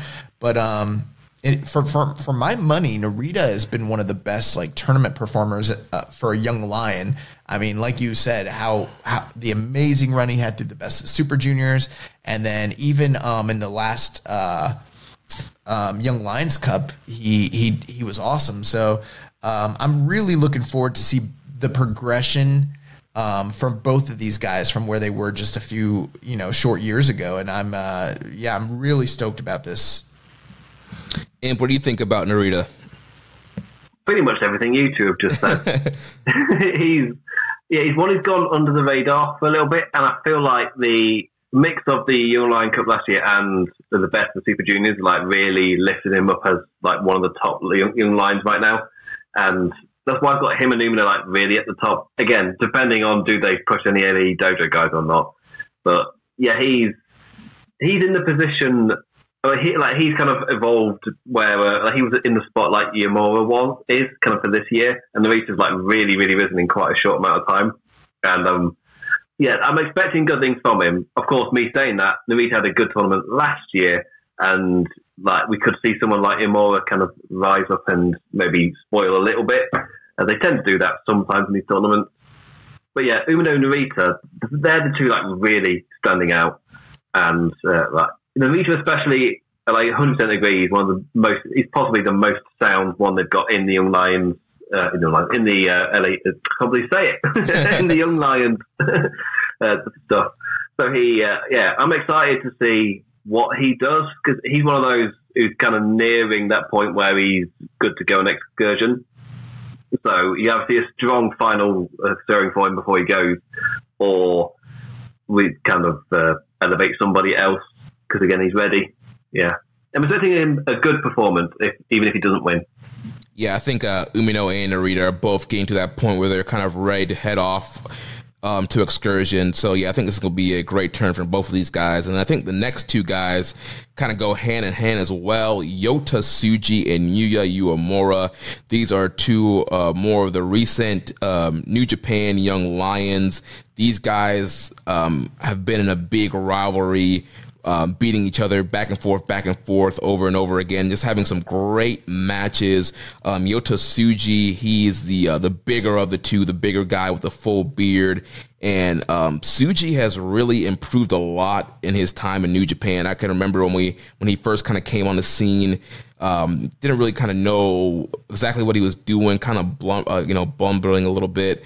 Uh, but he's gotten so much better and has great fire and he's going to be um, a solid heavyweight once he goes on excursion and comes back. And then you have Yuya Uemura, the smaller of the two. Um, believe he has an amateur background, but he is a solid uh, guy in the ring. Has some great suplexes, some great fire, and the rivalry between these ties have been great. And I think they're definitely going to try to one up each other in this tournament. Yeah, it's interesting how, um, and I don't know why I didn't notice it, but there's like little pairings for each of these uh, eight competitors. It's easy to kind of uh, pair Umino and Narita together, just given their place and and their history here. And then uh, Tsuji and Uemura are very similar because they broke in, they literally debuted with uh, against one another they had the long running feud, and fittingly enough, they're starting off the first night of the tournament against one another on, um, or at least the first match for. Oh no, I'm sorry, that's incorrect. Uh, they'll be facing each other on the second night of the tournament on September 8th. Um, but even still, that's just going to be another installment in the long running feud between Uemura and Tsuji. Um, both of these guys have improved in strides over the you know uh, I don't even know how long they've been uh, called. About a year, maybe. I, I, feel like it's been at least a year, maybe longer. Yeah, it's hard to say. But um, you know, both of these guys had deficiencies, had things that we thought they needed to improve in, and they've literally both improved in almost all those areas to become very, very well-rounded performers. Um, unfortunately, I got to tell you, I think they're both going to be very low on the totem pole. Um, I think that they're going to not do as well as Clark Connors and Fredericks or Narita and Umino um, even though they've been wrestling in the dojo system a little bit longer than, um, say, you know, these LA Young Lions, it seems like there is. Well, first off, I'll say that, that the LA Lions seem to be a little bit more progressed just in general. And even aside from that, they seem to be getting pushed more. So I see uh, Tsuji and Uemura kind of being in the similar roles that Narita and Umino were in a couple years ago, where they're hot prospects really, really promising guys. You can see all the potential in the world. And they probably will pick up wins over guys like Alex Coughlin and Michael Richards because they're kind of unknowns. But at, at the end of the day, I don't see them doing super hot in this tournament. What are you thinking, Imp? Yeah, pretty much again what Justin said. Yeah, for me, I I've been impressed with Tsuji in the way that he's taken that he takes the fight to the likes of Ishii. I feel like a lot of uh, young lions go through that stage where they're like, I'm going to step up to this big main, this big guy really respected. I'm going to show him who's boss. And uh, Tsuji's been doing, he's kind of in that phase where he's really attacking the uh, uh, opponent. Obviously, it's the phrase over here of chat shit, get banged. And that's exactly what he's doing. Like, he, he's talking crap, and then Ishii just beats the living crap out of him for five minutes. Or Suzuki, because he's an idiot. Why would you do that, Tsuji? What's wrong with you? but he, yeah, he's kind of in that phase. Uemura is, he feels a bit, um, he's, he's another one who's becoming really, really sound. Uh, uh, he's really standing out this uh, Young Lions kind of era where it's like there isn't, normally there's like maybe one or maybe a step behind or so where you can kind of tell. Like with this crop, like, no, like you could easily pair them off. Like Isugi and Mamora are really are developing really well. And Rito and Umino, we're talking about them like as like future champions, kind of good. so it like the, the these young lions are like really developed really really well. And then the LA dojo guys, like they've come in and it's like really impressed during the G1. So it's, like this crop of young lions, like New Japan have got themselves set again. it's looking great for them. Uh, I've drifted from Tsuji because I pretty much you've pretty much said everything that I needed to say. But yeah, he's not going to finish that high. He should be impressive during it, and he he reminds me a bit of a uh, Japanese Dave Grohl. When I see him, I think you could be a version of the Japanese Foo Fighters. I don't think I've ever noticed that before. Now I'm probably not going to get that out of my head now. I was thinking that's a really weird thing. It must be just me that thinks that. So uh, the next uh, kind of pairing we can talk about are Clark Connors and Carl Fredericks. Both of these guys are from the LA dojo, being trained by Katsuyori Shibata. And we saw these guys during the G1 Climax tour this year. They were in tag undercards, uh, mainly teaming with Kenta and then sometimes just teaming with each other. They've kind of started a rivalry with the New Japan Young Lions, especially with uh, Tsuji and Uemura. Um, I know them kind of beating Uemura at the end of the tournament and Uemura wanting them to come back. And, you know, if you want to be true Young Lions, you need to come back to Japan. So here they are coming back to Japan. Um, Clark Connors was um, got a spot in the Super J Cup as well. And um, out of the two, I, I'm really impressed. I think they're both impressive, but I really love uh, Carl Fredericks. I think this guy has the money look, um, great in ring worker. I think he's a guy that if he stays in this system, he can be uh, a future um, top gaijin for uh, New Japan. What are you thinking, him? Uh, yes, again, exactly what you're thinking. Uh, Clark Connors is also great because Kevin Kelly mixed up his name, calling him like Clark Collins and stuff. So added entertainment. so, but yeah, um, Carl Fredericks especially, like he really stood out. Like especially if, if you're a guy with I guess like a physique like his, like if you're a bit behind, you might stand out a bit more. But no, he seemed like really, uh, really well. Oh, I can't think of the word. Like he's well drilled and trained, I guess, to put it simply. Like he, he was like really impressive when he was taking part in G1 tags. And uh, Clark Connors feels a bit like uh, a really, really young. T- oh, the guy I thought of was Timothy Thatcher when I saw him, just like a but, but like really, that. really young. So he's so obviously that's quite a high ceiling to be thinking of for someone. And so I'm really impressed with both guys. I think these they're just like you know, put everybody into pairs. They're Connors and Fredericks for me. They're both in like another pair, and uh, they're more equivalent to Umino and Narita, where I think they'll finish higher up but I don't really know how high. Um, I'm expecting, yeah, it depends on how hard they push these LA Dojo guys. And I'm expect if it's like the G1, then we might get a Japan versus USA final. Or again, I don't, I don't know. but yeah, both are impressing. Uh, I uh, don't know who would do better than the other. I feel like they're one of these pairs where they're interchangeable. But uh, yeah, I'm impressed with both so far. We just haven't seen that much where I can really speak about them. But for what I have seen, yeah, they both look really impressive. Yep, I really like the LA Dojo Lions. Super impressive. I agree with every point that you made there, Jeremy. You know, uh, uh, Carl. Fre- it's Carl Fredericks, right? Yeah.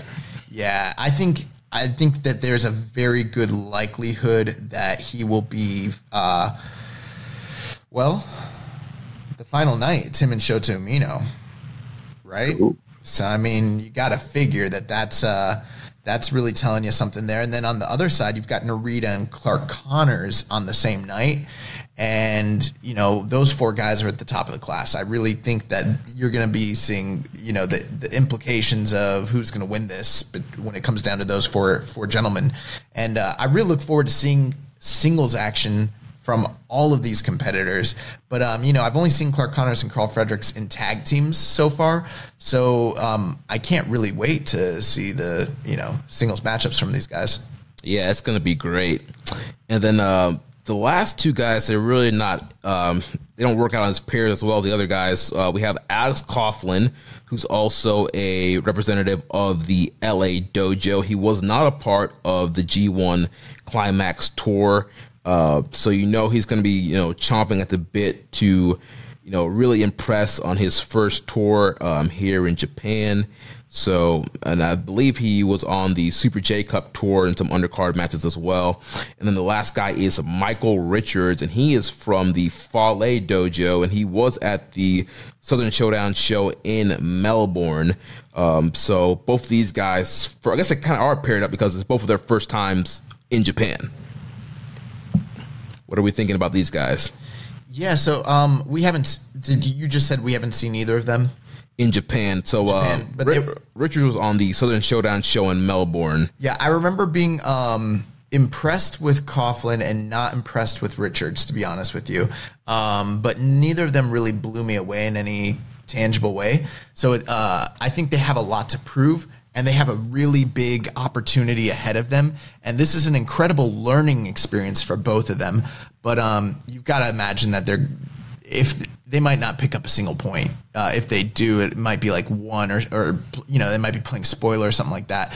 But um, if, if, if history tells us anything, these young Lion Cups are really more based on pecking order than upsets and things like that. It's not necessarily a. Uh, I mean, you never know. Who knows how they're going to book it? But if if history tells us anything, we're going to learn where they see each one of these guys when it comes to the ecosystem of the the young lions in New Japan. And uh, I think both of these guys are going to get a great opportunity here, but I don't think that they're going to go very far in the tournament.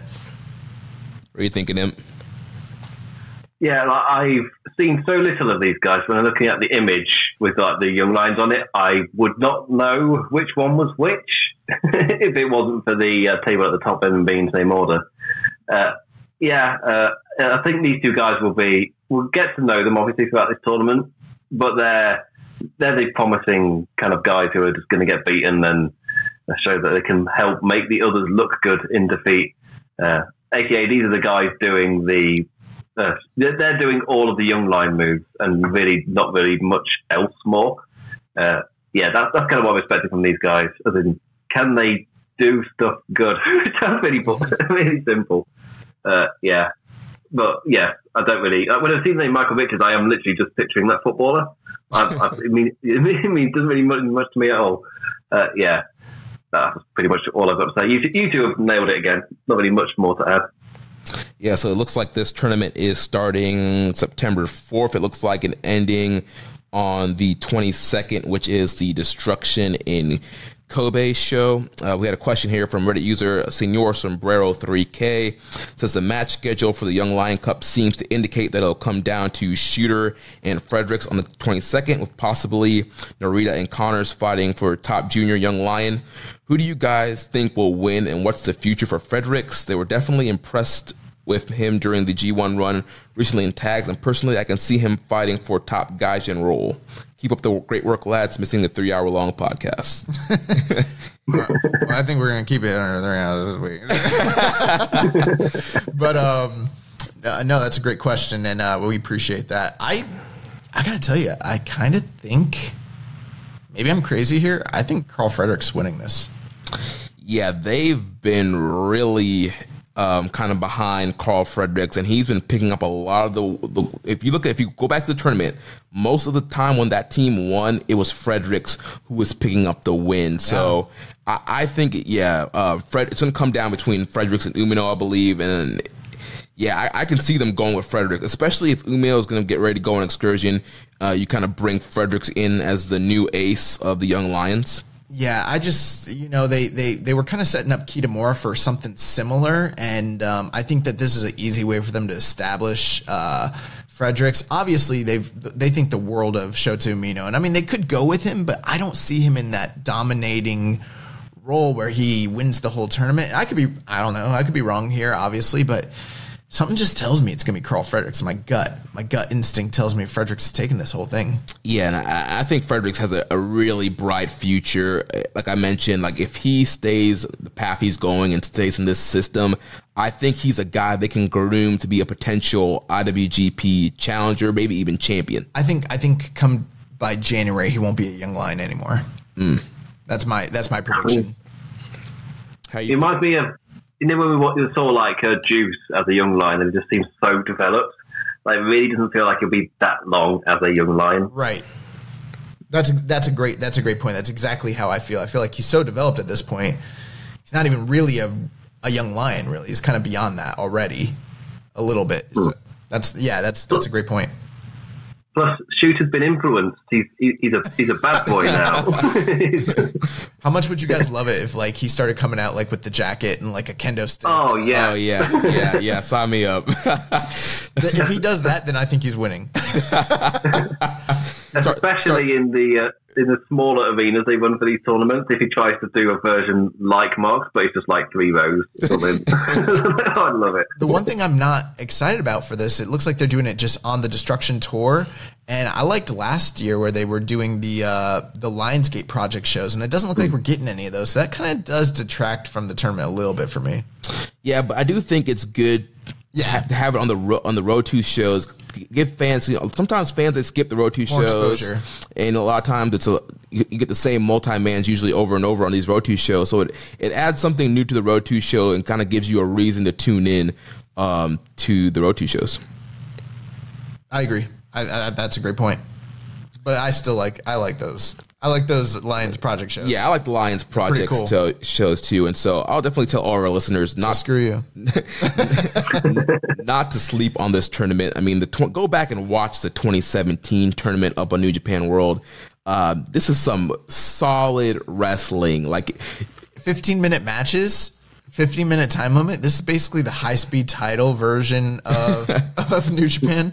So, yeah, it's going to be good. Uh, M, did you have any more thoughts on uh, Carl Fredericks and his future? Uh, yeah, um, I completely agree. He feels so developed that it, I really don't see him being lion that long. Uh, I'm interested to see what happens after that. We don't know. Uh, uh, are they going to call up the LA Young Lions just like they do everybody else? They'd be like the first guy brought in by the LA Dojo to actually like, make it to the next stage, which is uh, kind of cool to see how that happens uh, obviously because he's a gaijin, there's always a chance he'll become a baddie. like it, used to be a thing, but uh, they've got they've got uh, foreigners in the chaos now, so who knows? but, uh, yeah, it's either that or Taguchi, where they normally end up. just dancing with Taguchi with another ring. I can't see Fredericks doing that. Uh, yeah, it's an interesting one, but yeah, I, he's not going to be young line for that long. Whatever happens next, I expect him to do pretty well for himself. Is it weird that I'm so much more geeked up for Young Lions Cup than I was the Super J Cup? I don't know. At least we'll actually get to see the Young Lions Cup live. that, that's a valid point. um, uh, Zack Sabre Time had a second part to his question. Um, he says he forgot to ask this two weeks ago. He says, uh, since Jay White beat Taichi in the G1, does this make Jay the master of shenanigans? No. Imp, your thoughts? Not whilst Yano's alive. That's exactly what I was thinking. Actually, I, I, was trying to think of something really funny to say, and I couldn't think of like a compelling thing. But uh, yeah, I mean, Yano's the master of shenanigans.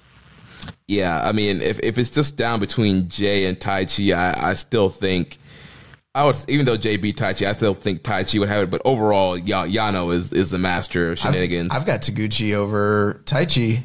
Really? As a master of shenanigans? Absolutely. Don't you guys? No. What, what do you think, Imp? Um, uh, do, do butt stuff count? He does all the butt stuff. he, he does all the butt stuff. Oh man, let's let's move on. Listen, there's nothing wrong with butt stuff.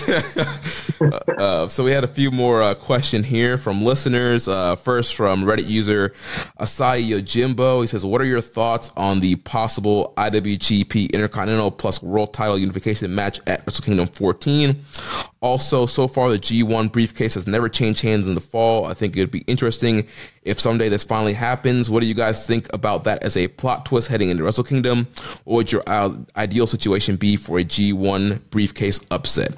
So first, let's talk about the IC and World Title potential unification match at Wrestle Kingdom 14.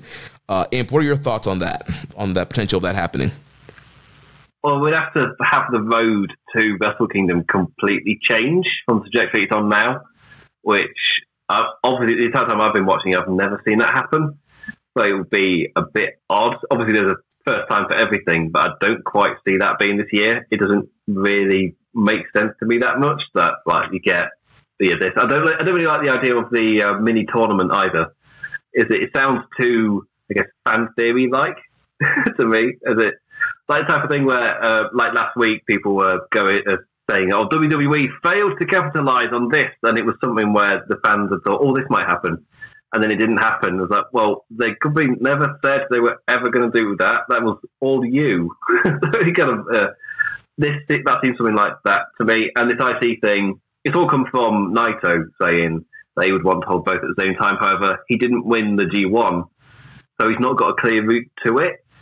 So maybe it could be more just a thing of him showing his disdain for the IC title more than it was an actual like thing that could happen.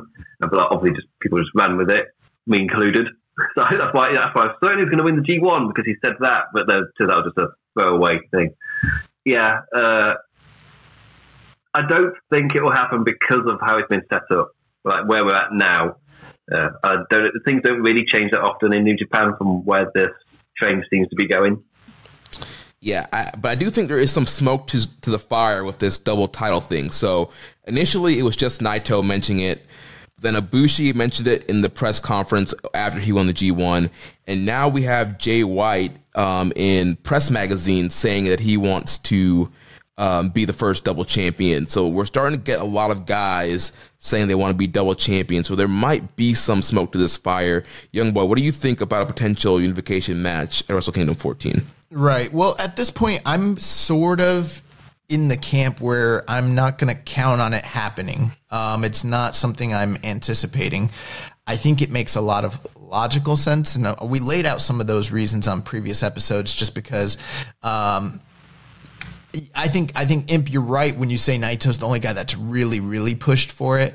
But there's been some offhand comments that Ibushi's had, even last week in the um, in some of the uh, news like media, just like some of the magazines that are published over there in Tokyo, Naito had mentioned that he was willing to wrestle um, Ibushi for the you know t- in a double title match, provided they both won and they would go and face each other on the second night. So they actually have started to kind of talk about this, but they've they're given so much creative freedom in in New Japan.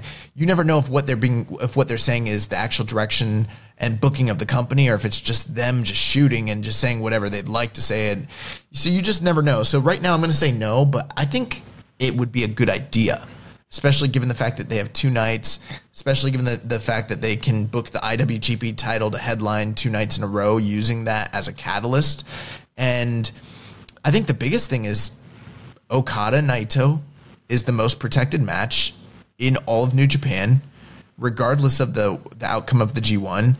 And you know, um, the the the two matches that look most likely, hypothetically speaking, would be what. Um, well, I'm I'm guessing you said during Destruction Tour we're getting Naito and Jay White, right? Yeah.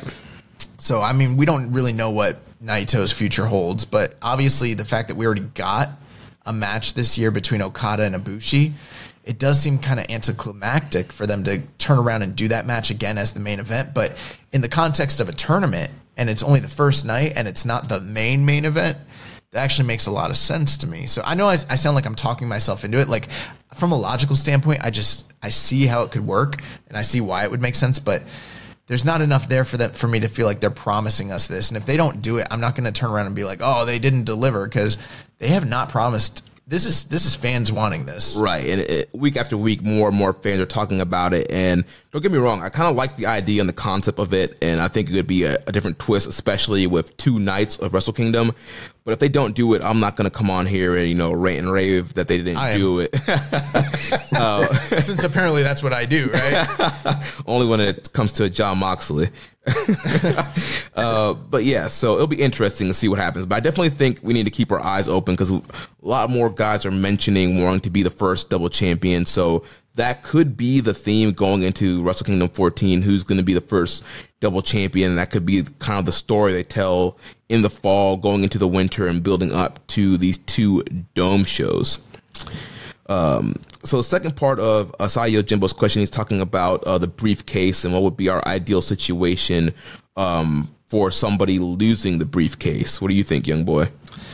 I this is one of those topics every now and again when we finally get to this time of the year we start to talk about this I just I find myself in this place where I understand that people think that they should do this and in a way New Japan has booked themselves into a corner to where the, eventually they have to do it that's why I hate the rule I hate the concept I I understand what it facilitates you know it gives the guy who won the G1 a chance to uh strengthen his run going into the Wrestle Kingdom main event.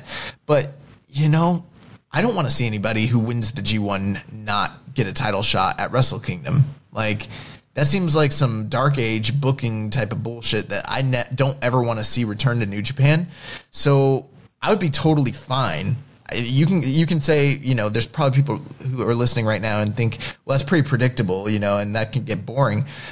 Better that than it be bad like I'd rather the bore the it, it, be predictable than just actually bad. Like what, there's no reason to switch the uh, briefcase off of somebody. And you know, as a viewer of this company, like I don't want to sit back and watch the G1 for two months and see someone win this incredible tournament and then they hand over their their contract to somebody else. That sound that's bullshit. Like that's so stupid. Why would I why would I be invested in that? But the problem is they got to do it at some point and they're gonna do it and i hate that idea um, i would rather they just never do it that's Yeah. my that's my feelings Imp, hate it. How do you feel about it? It's pretty much exactly the same. Like it doesn't feel like a thing that fits into the current way New Japan kind of books and builds or tells their stories. Like the only way I feel might feel fine with it is if it felt like it had been set up in some way beforehand, or you've got inklings that it could happen. For it to randomly happen, it that doesn't feel like it fits in the world that they've set up.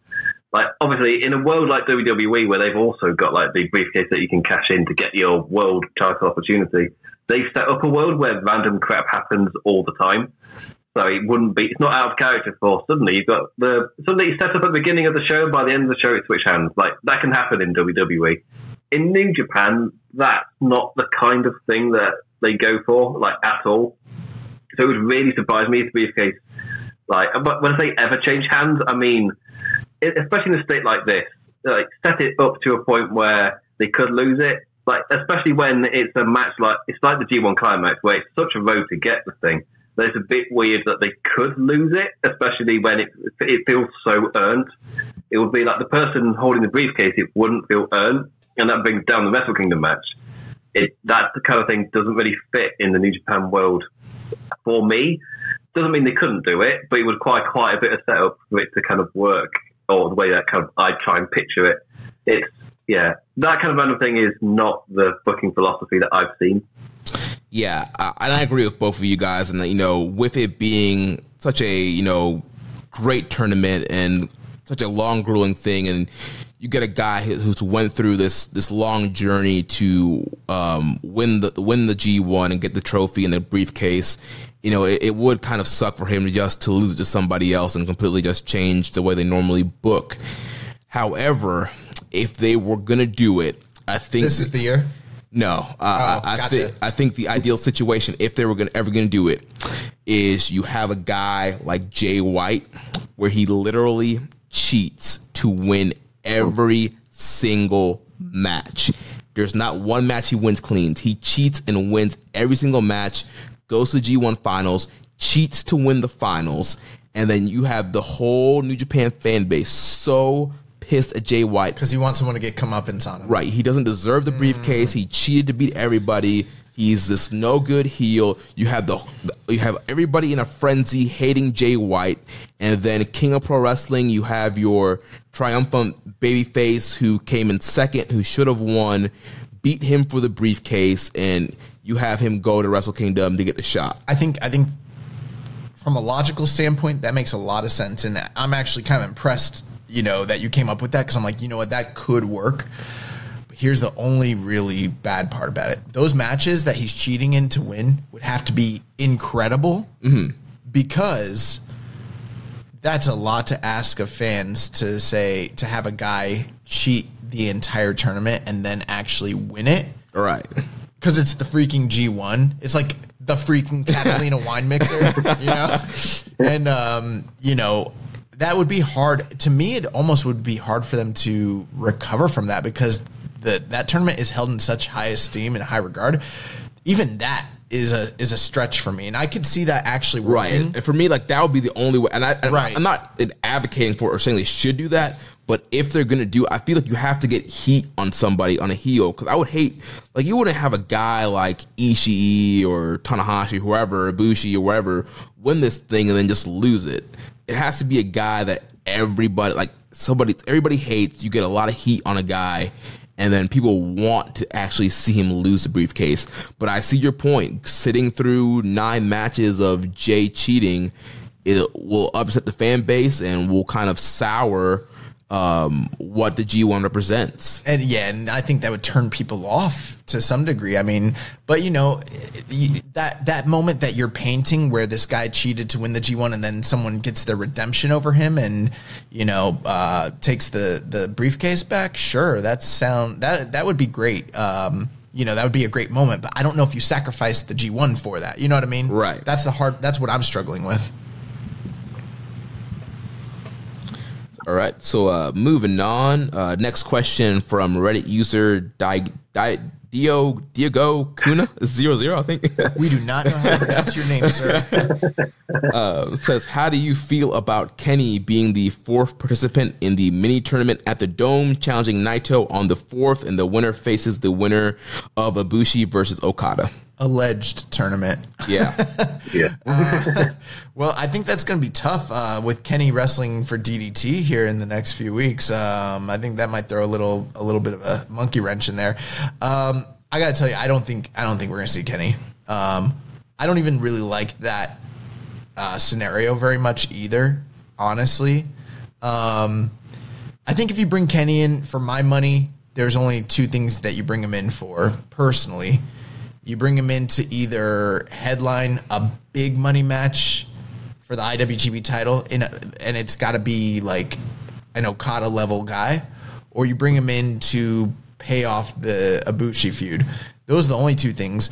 Um, the match with him and Naito, obviously they always have bangers. That'd be incredible. But like, why bring him in to have an IC title match on one night with Naito and then, you know, like he would have to win, so then he'd have to be the IC champion. That doesn't really make sense. And then For one night, because then he'd probably lose. then he'd probably lose it. Yeah. And then- I don't know. That seems this is not happening. Like, and I don't think I would want that to be honest. Right, and I'm a huge Kenny Omega fan. Kenny Omega is one of my favorite wrestlers today, and personally, I wouldn't want to see him come in for this. Like, I agree with you. If Kenny's coming in, it's got to be a big money one time singles match, not this mini tournament thing where he's going to win a belt and then lose it the next night.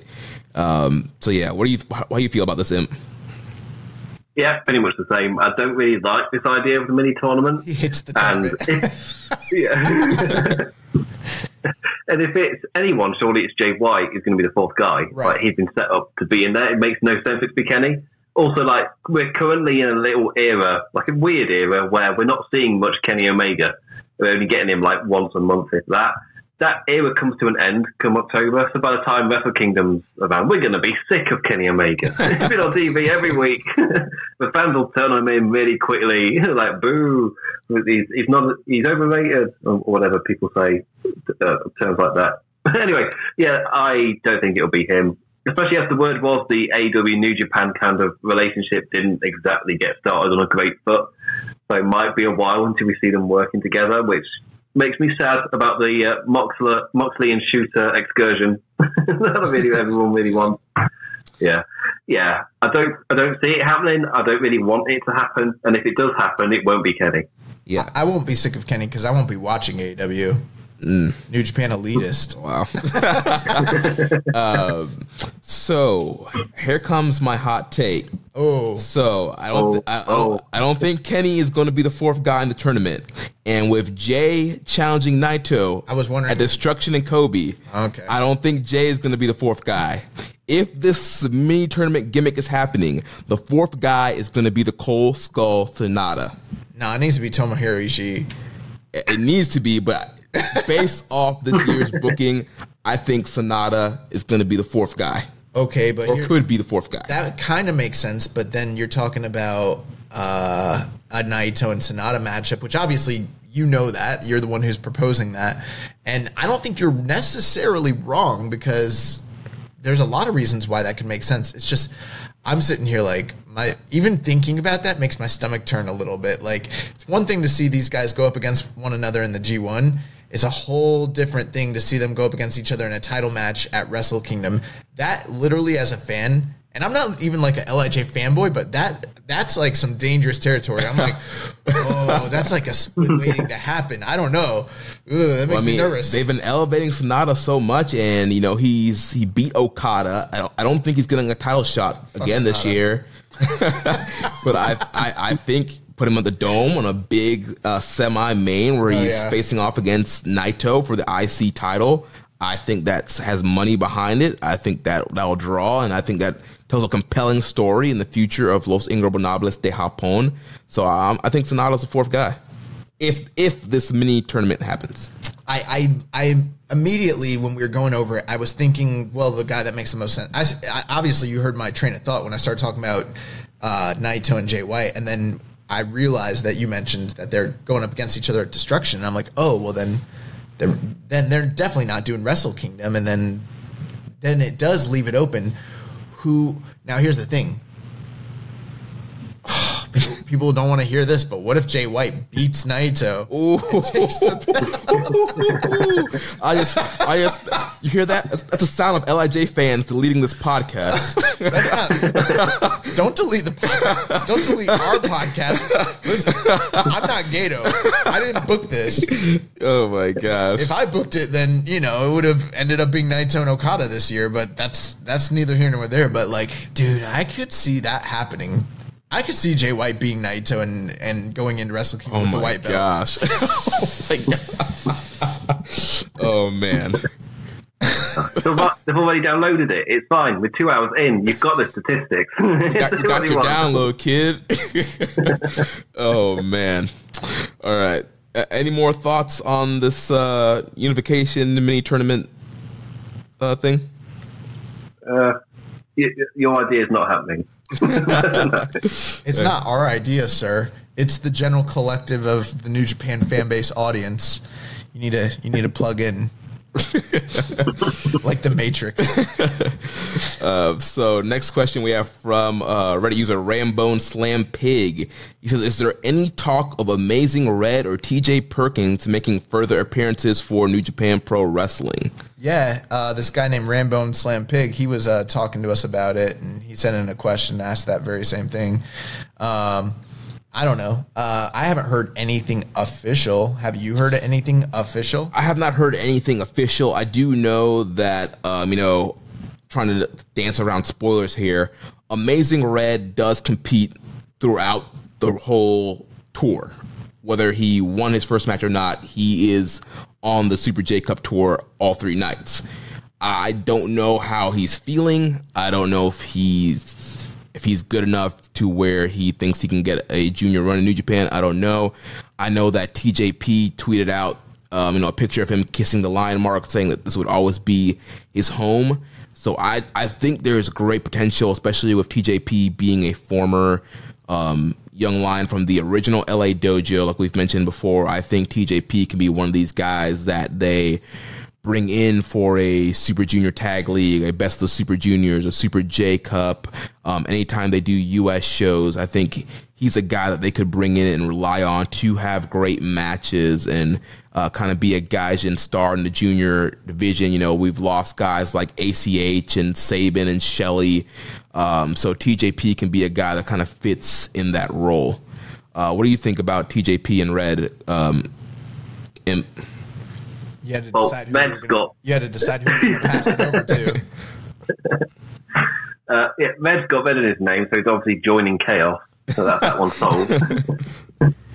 uh, yeah, and there's the history as well. TJP kind of I, I, pretty much what Jeremy said. Where if there are going to be appearances, I would expect it for like yeah, for tournaments or for trips to America.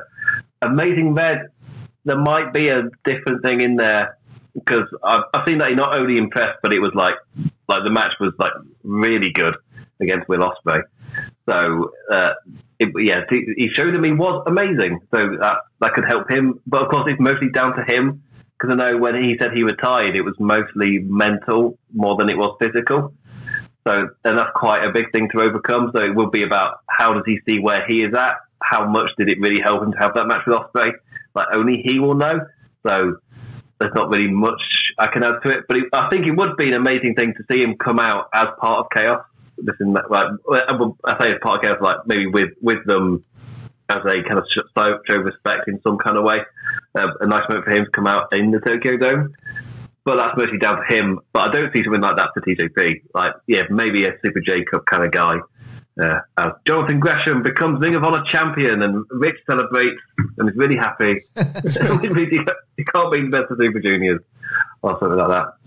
Yeah. But yeah, I reckon they'll both have more appearances because I think they're both impressed from what I've heard. Uh, I don't know to what degree though. I I feel like um, given the climate that the wrestling industry is in right now, with so many uh, talented wrestlers locked up and you know um, exclusive to so many different entities, uh, we are kind of in a sparse time period where unless a wrestler is exclusive to one of the partners that New Japan has, it's kind of hard for them to get some of these outside guys. Um, in my opinion, TJP is one of those few free market guys that is still out there. Um, the only way I see him not having more appearances is if he signs some sort of exclusive deal with like an AEW or like an Impact. Other than that, I I would tell you I think it's a very very likely possibility that he comes back in, uh, especially with certain guys that we think are leaving um, the the the junior di- division. Like obviously Shingo just left. Obviously Will Ospreay is not long for the division. Um, TJP makes a lot of sense to me. Uh, Amazing Red, that's the one I'm way, way, way more iffy on, and it's just because I don't know if he wants to continue to work or not. If he does continue to work, there's every possibility in the world that he either could become a mainstay or he could become like one of those like Chris Sabin, Alex Shelley type of guys that only comes around when they're doing US shows, possibly. Yeah. But um, that's kind of my view. I think TJP is the way more likely of the two. Yeah, I think the ball is in Red's court. You know, Brian Alvarez and a lot of people have been saying that the Red Ospreay match is one of the best matches they've seen live. Um, so I've been hearing just raving reviews about Red's performance this this whole weekend. So yeah, I think the ball's in his court. Whatever he feels and decides, I think if he wants another run, I think they would be happy to you know bring him in for some more tours. You know, be in Best of the Super Juniors next year. So it'll be interesting to see what happens. So next question comes from our mutual friend Sir Sam from LOP. He's not my friend. He says he has a question. He says, "Who does Imp think is going to win the Ricky and Clive Quiz Invitational? Him or the young boy?" exactly. Ah. Well, I know when I was on and Sir Sam beat me. I'm, I'm not bitter about it. was sat in his car with a coffee in the morning and he still beat me. but he, uh, yes, and I know Ricky designed some pretty mean New Japan questions, but when I was on, uh, and I expect him to do the same. So I felt like the New Japan questions were pretty difficult. They actually tested me, if I remember. So either young boy falls on his, oh, what's the phrase? Falls on his own petard. I don't know if that's phrase over in America. No, it's not.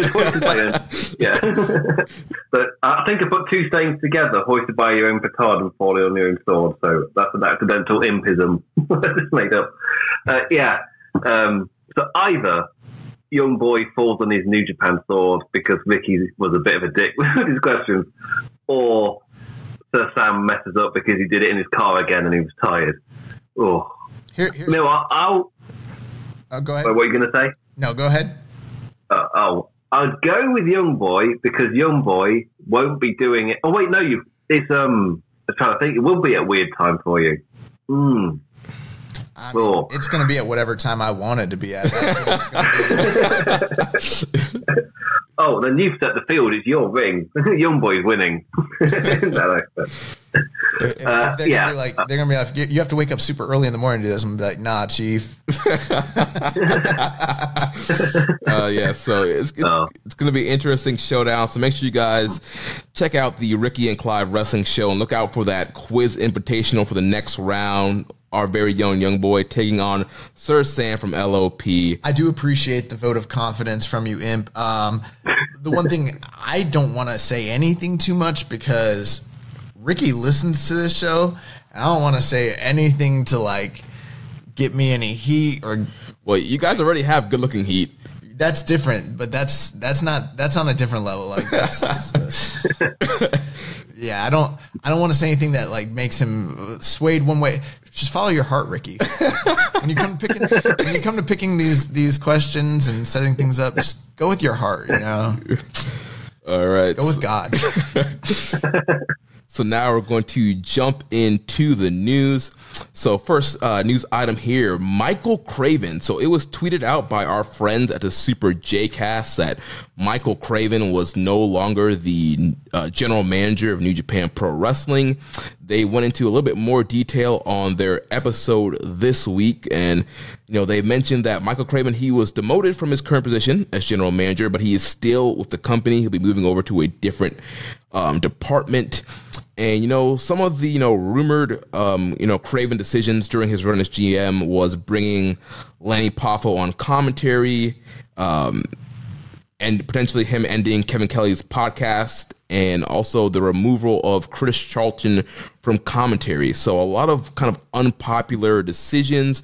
Um, we've How heard. about losing the entire elite and and jump starting AEW and killing their entire Western expansion? No, I'm just playing.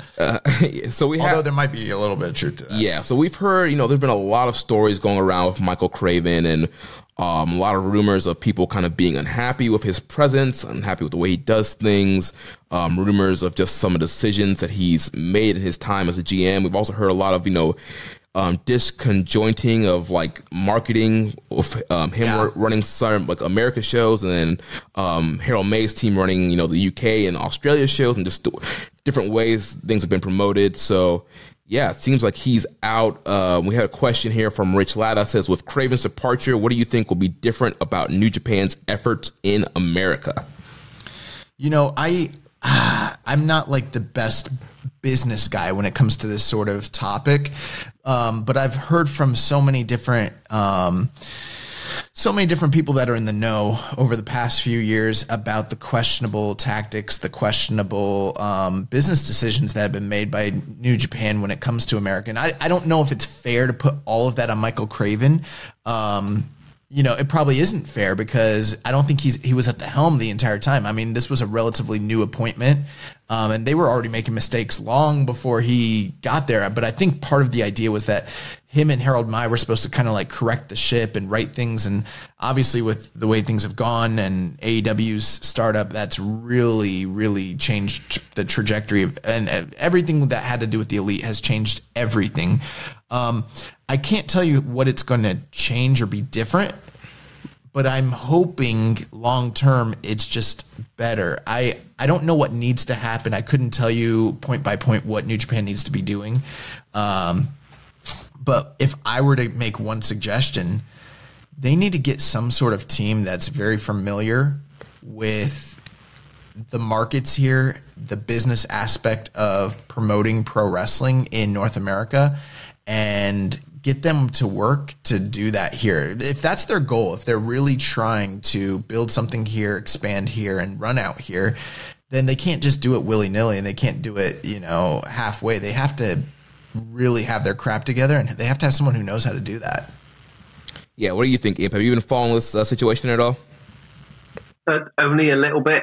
I will say, um, I think I think it was on Social Suplex. Uh, Wilf hit me up on uh, something that was revealed during the recordings of the Super J Cup, where they announced they'll be doing uh, New Japan sh- Showdown in San Jose on November 9th, which is also perfect competition because WWE are also abroad at that point and doing a certain show. So, like, oh, the WWE aren't here. Oh, why don't you uh, come to our show?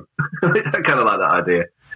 Uh, so it um, maybe we are seeing a slight difference, but the way they announced the show was just like during the show they flashed up a graphic, and if Wolf hadn't sent me this, I would have had no idea the show was on.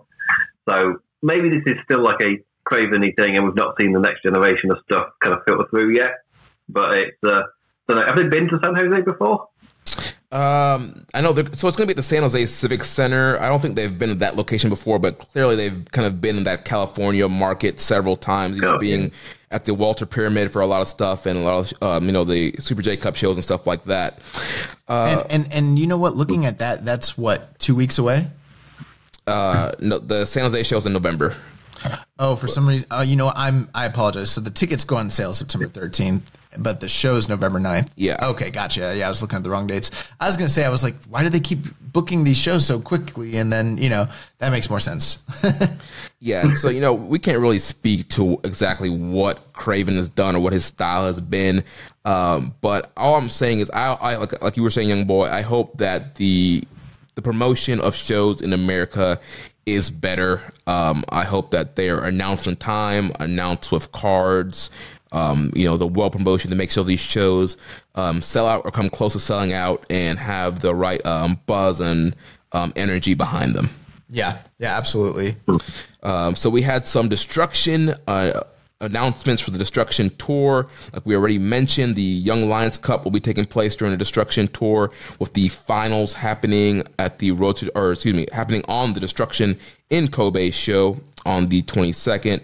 We also have Blue Justice 9 which will be Nagata celebrating 35 years in wrestling.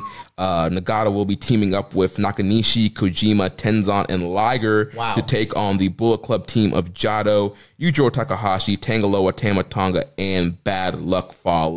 That should be pretty fun, actually. yeah, actually, probably. Um, and then also Naito will be defending the Intercontinental title against Jay White at the Destruction in Kobe, and more matches to be announced for that tour. I'm I'm my stomach is kind of feeling sick about that match. I'm uh, I'm nervous. oh man! And like we mentioned earlier, the New Japan Showdown is happening at the San Jose Civic Center on November 9th. Tickets will go on sale Friday, September 13th. Uh, international tickets for King of Pro Wrestling uh, and Ryogoku will be going on sale August 22nd. So that already passed. So those tickets are already on sale. So get those King of Pro Wrestling tickets if they're not already sold out. Then we have some uh, interesting stuff from the Wrestling Observer newsletter. First on Shibata. Um, this was from the newsletter. Dave says regarding Katsuyori Shibata, he hasn't been cleared, but he will be attempting to get cleared. He trains with his students, but the issue in question is whether it can ever be healthy for him to take headshots, and if he were ever to return as Katsuyori Shibata, can they work around the issue within the New Japan style? So I know that we've kind of talked about Shibata, and um, Imp, we just found out that Shibata was your favorite wrestler. What do you think about um, a potential Shibata comeback, and what are your feelings on this? Well, if he's cleared, he's cleared by people who know way more than me. So, but I feel like I sh- I perfectly fine to not worry if he's been cleared. Uh, but if if he's not been cleared, then it's obviously a completely different story and like minimal bumps, please, Katsu, please. Just uh, yes, the it's one of those um, angles that was so well done that you just you're desperate for the follow up. Um, but again, if he's not been cleared, then uh, for me, it's like don't even consider it kind of thing because it's such a serious injury that happened as well. It's something where you shouldn't take any risks. But then if the people who know way more than me have said, no, it's fine, then yeah, go ahead. Do the amazing match of Shibata Kenta, please. Because that was such an amazing heel turn. I uh, I've said it before. I'll say it again. I can't imagine any doctor anywhere that would ever clear this guy after what he suffered. And I'll I know it's kind of repetitive, but I'll say it again. If you've never gone and looked at what a subdural hematoma um, surgery entails and how that can affect the rest of your life, just go look on YouTube. Um, it's not something that, again, I'm kind of the same way with you, Imp. There's people who know more than me, but there's also general knowledge and general information. And this general information is out there, and I don't think he, this guy can ever take a bump. I'm surprised they let him get as physical as they did uh, at the G1 finals, um, which was amazing. And I loved that moment and I loved it all. And I would love nothing more than to see Shibata wrestle again. But I, I would strongly bet that he's never wrestling again. And if he does, it's not a danger of like, oh, he could get really hurt. He could die. and and that's not an and that's not like in, in one of those ways where it's like, well, it's possible, but you, you know, because they could always die in wrestling. You just never know. I mean, it's a what they do is very dangerous, but it's the likelihood he could do like he could take one bump and he could die, literally. So I don't think he's ever getting cleared. I really, really, really don't. Yeah, I, I would say that the chances are very slim, and e- even if he is cleared, I don't. I still wouldn't want to watch him wrestle. you you know what what style he's used to. If, if he's wrestling, people want to see that the the hard hitting headbutt, hard striking Shibata. Even if he's cleared, like can he work a non strong style match and you know come out unscathed? It's it's a very you know tough situation. But like you said, Imp, there are people who know more than us, and if somehow he gets cleared then I would think they would know what they're saying. But at the same time, like it could be very bad and be a bad look on New Japan and a bad look in pro wrestling in general if this guy gets cleared and then he gets re-injured and possibly dies or you know has a even worse you know an injury that you know paralyzes him for the rest of his life. Um, it'll be a bad look on the wrestling world. Um, so to pick things up, uh, um, some more stuff from the Wrestling Observer newsletter, kind of talking about uh, Kenny Omega and uh, Jay White in the booking scenarios there. So uh, Dave says in the Wrestling Observer newsletter, uh, some of this is known and some also not hard to figure out. But Gedo's original booking of 2019 was for Kenny Omega to beat Hiroshi Tanahashi and keep the IWGP title at the Tokyo Dome and then defended against Kazuchika Okada in Madison Square Garden. Omega would then be the one to lose to Kota Ibushi in the G1 finals in the spot Jay White had. Whether that would have meant Okada versus Ibushi or Omega versus Ibushi at the Tokyo Dome or both, I don't know. So I really question whether that's true or not. that's what I'm going to ask. What, do Yeah. you, what do you guys think about that? Um, I mean, I don't want to spend too much time on it, but I just really question whether that's true or not. Um, I don't see any reason to believe that it's the case. Um, it, I mean, it, it could be, it could be, but I mean, it was really easy for me to see going up to April that that was the trajectory that Kenny probably would have had easy. Okay, perfect. But after that, I think all bets are off, and um, there's no reason for me to think that that's what they were going to do, especially like you know, was Kenny going to be a heel? Was he going to get this heat on him the way Jay did? Like, I just don't know about that. That's that- that's a little bit more conjecture for me than anything else. Were you going to say Imp? Well, yeah, I was just uh, uh, agreeing with Josh pretty much that it, it kind of it links to the rumors that was at the start of the year that Jay White would be getting all of Kenny Omega's bookings uh, to kind of like justify what happened at New Beginning when he won the championship. Uh, but like that's kind of when it started circulate, circulating, and uh, I don't, yeah, this ties to that, but I've not really seen anything to legitimize it at all. That this is definitely true, Yeah. but uh, yeah, yeah, I'm yeah, also skeptical. yeah. Yeah, I'm also skeptical about this. I mean, I think Gedo's pretty, um, you know, tight-lipped when it comes to his booking, and I'm, you know, I'm not trying to discredit Dave at all. I'm just not sure who he would have talked to that would have known Gedo's plans for the whole year, and especially with Kenny leaving and everything the way G1 was laid out. I don't know, but you know, I don't, I don't know who he's talking to. I don't have those close sources, so just thought it was very interesting. Um, in other news, the current IWGP US Heavyweight Champion Jon Moxley has um, is suffering from a MRSA infection, and he's going to be missing all out. Um, we did have a question from uh, Maserati asking, he says, um, Mox's injuries, what does this mean for the U.S. title? Uh, I literally don't know, to be honest with you. I don't. I don't have too much to speculate on it. Uh, it could mean that they lift it from him, but more than likely, when's um when's the TV coming back? What the AEW? Yeah, in October, October second. Okay. Um, there is the possibility he could come back for King of Pro Wrestling if he's ready by that point. It might not mean anything.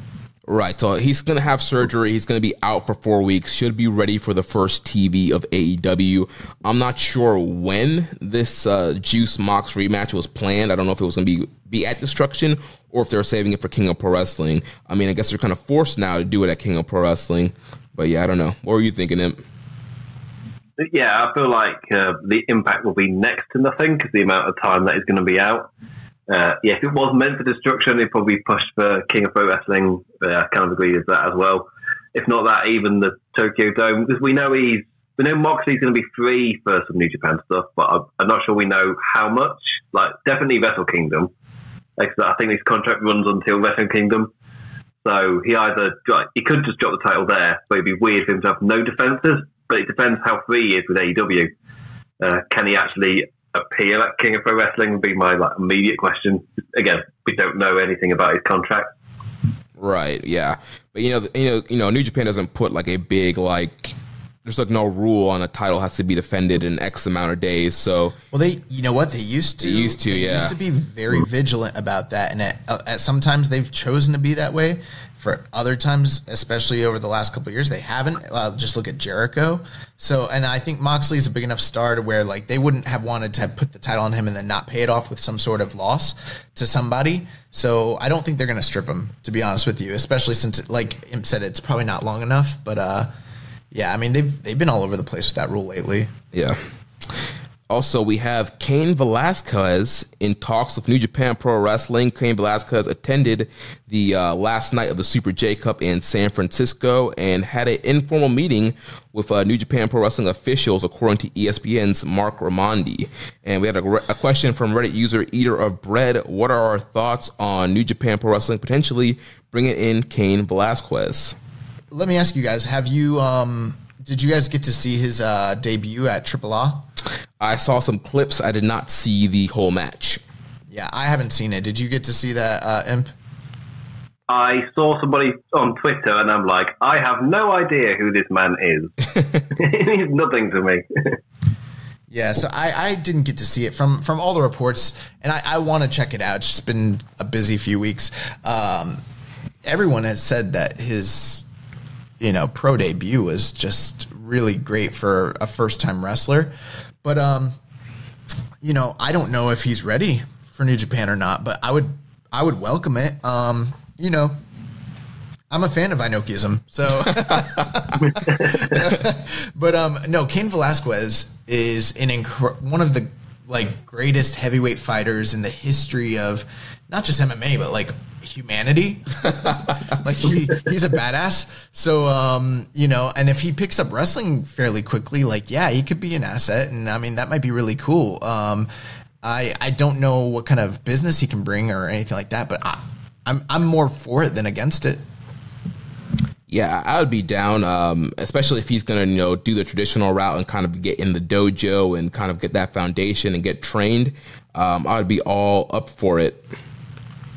I know Imp, you're not really familiar with Cain, so I guess you're kind of iffy on it. I mean, if he's the guardian of humanity, then yeah, it's kind of cool. Uh, and then in other uh, non New Japan news, but Japan news, uh, Kenny Omega, the former IWGP champion, will be returning to Japan, but he'll be returning for DDT for the Ultimate Party 2019. Kenny will be teaming with Riho in a tag match against uh, Antonio Honda and Miyu Yamashita at Ultimate Party 2019. This is taking place in Sumo Hall, Tokyo, Japan on Sunday, November 3rd.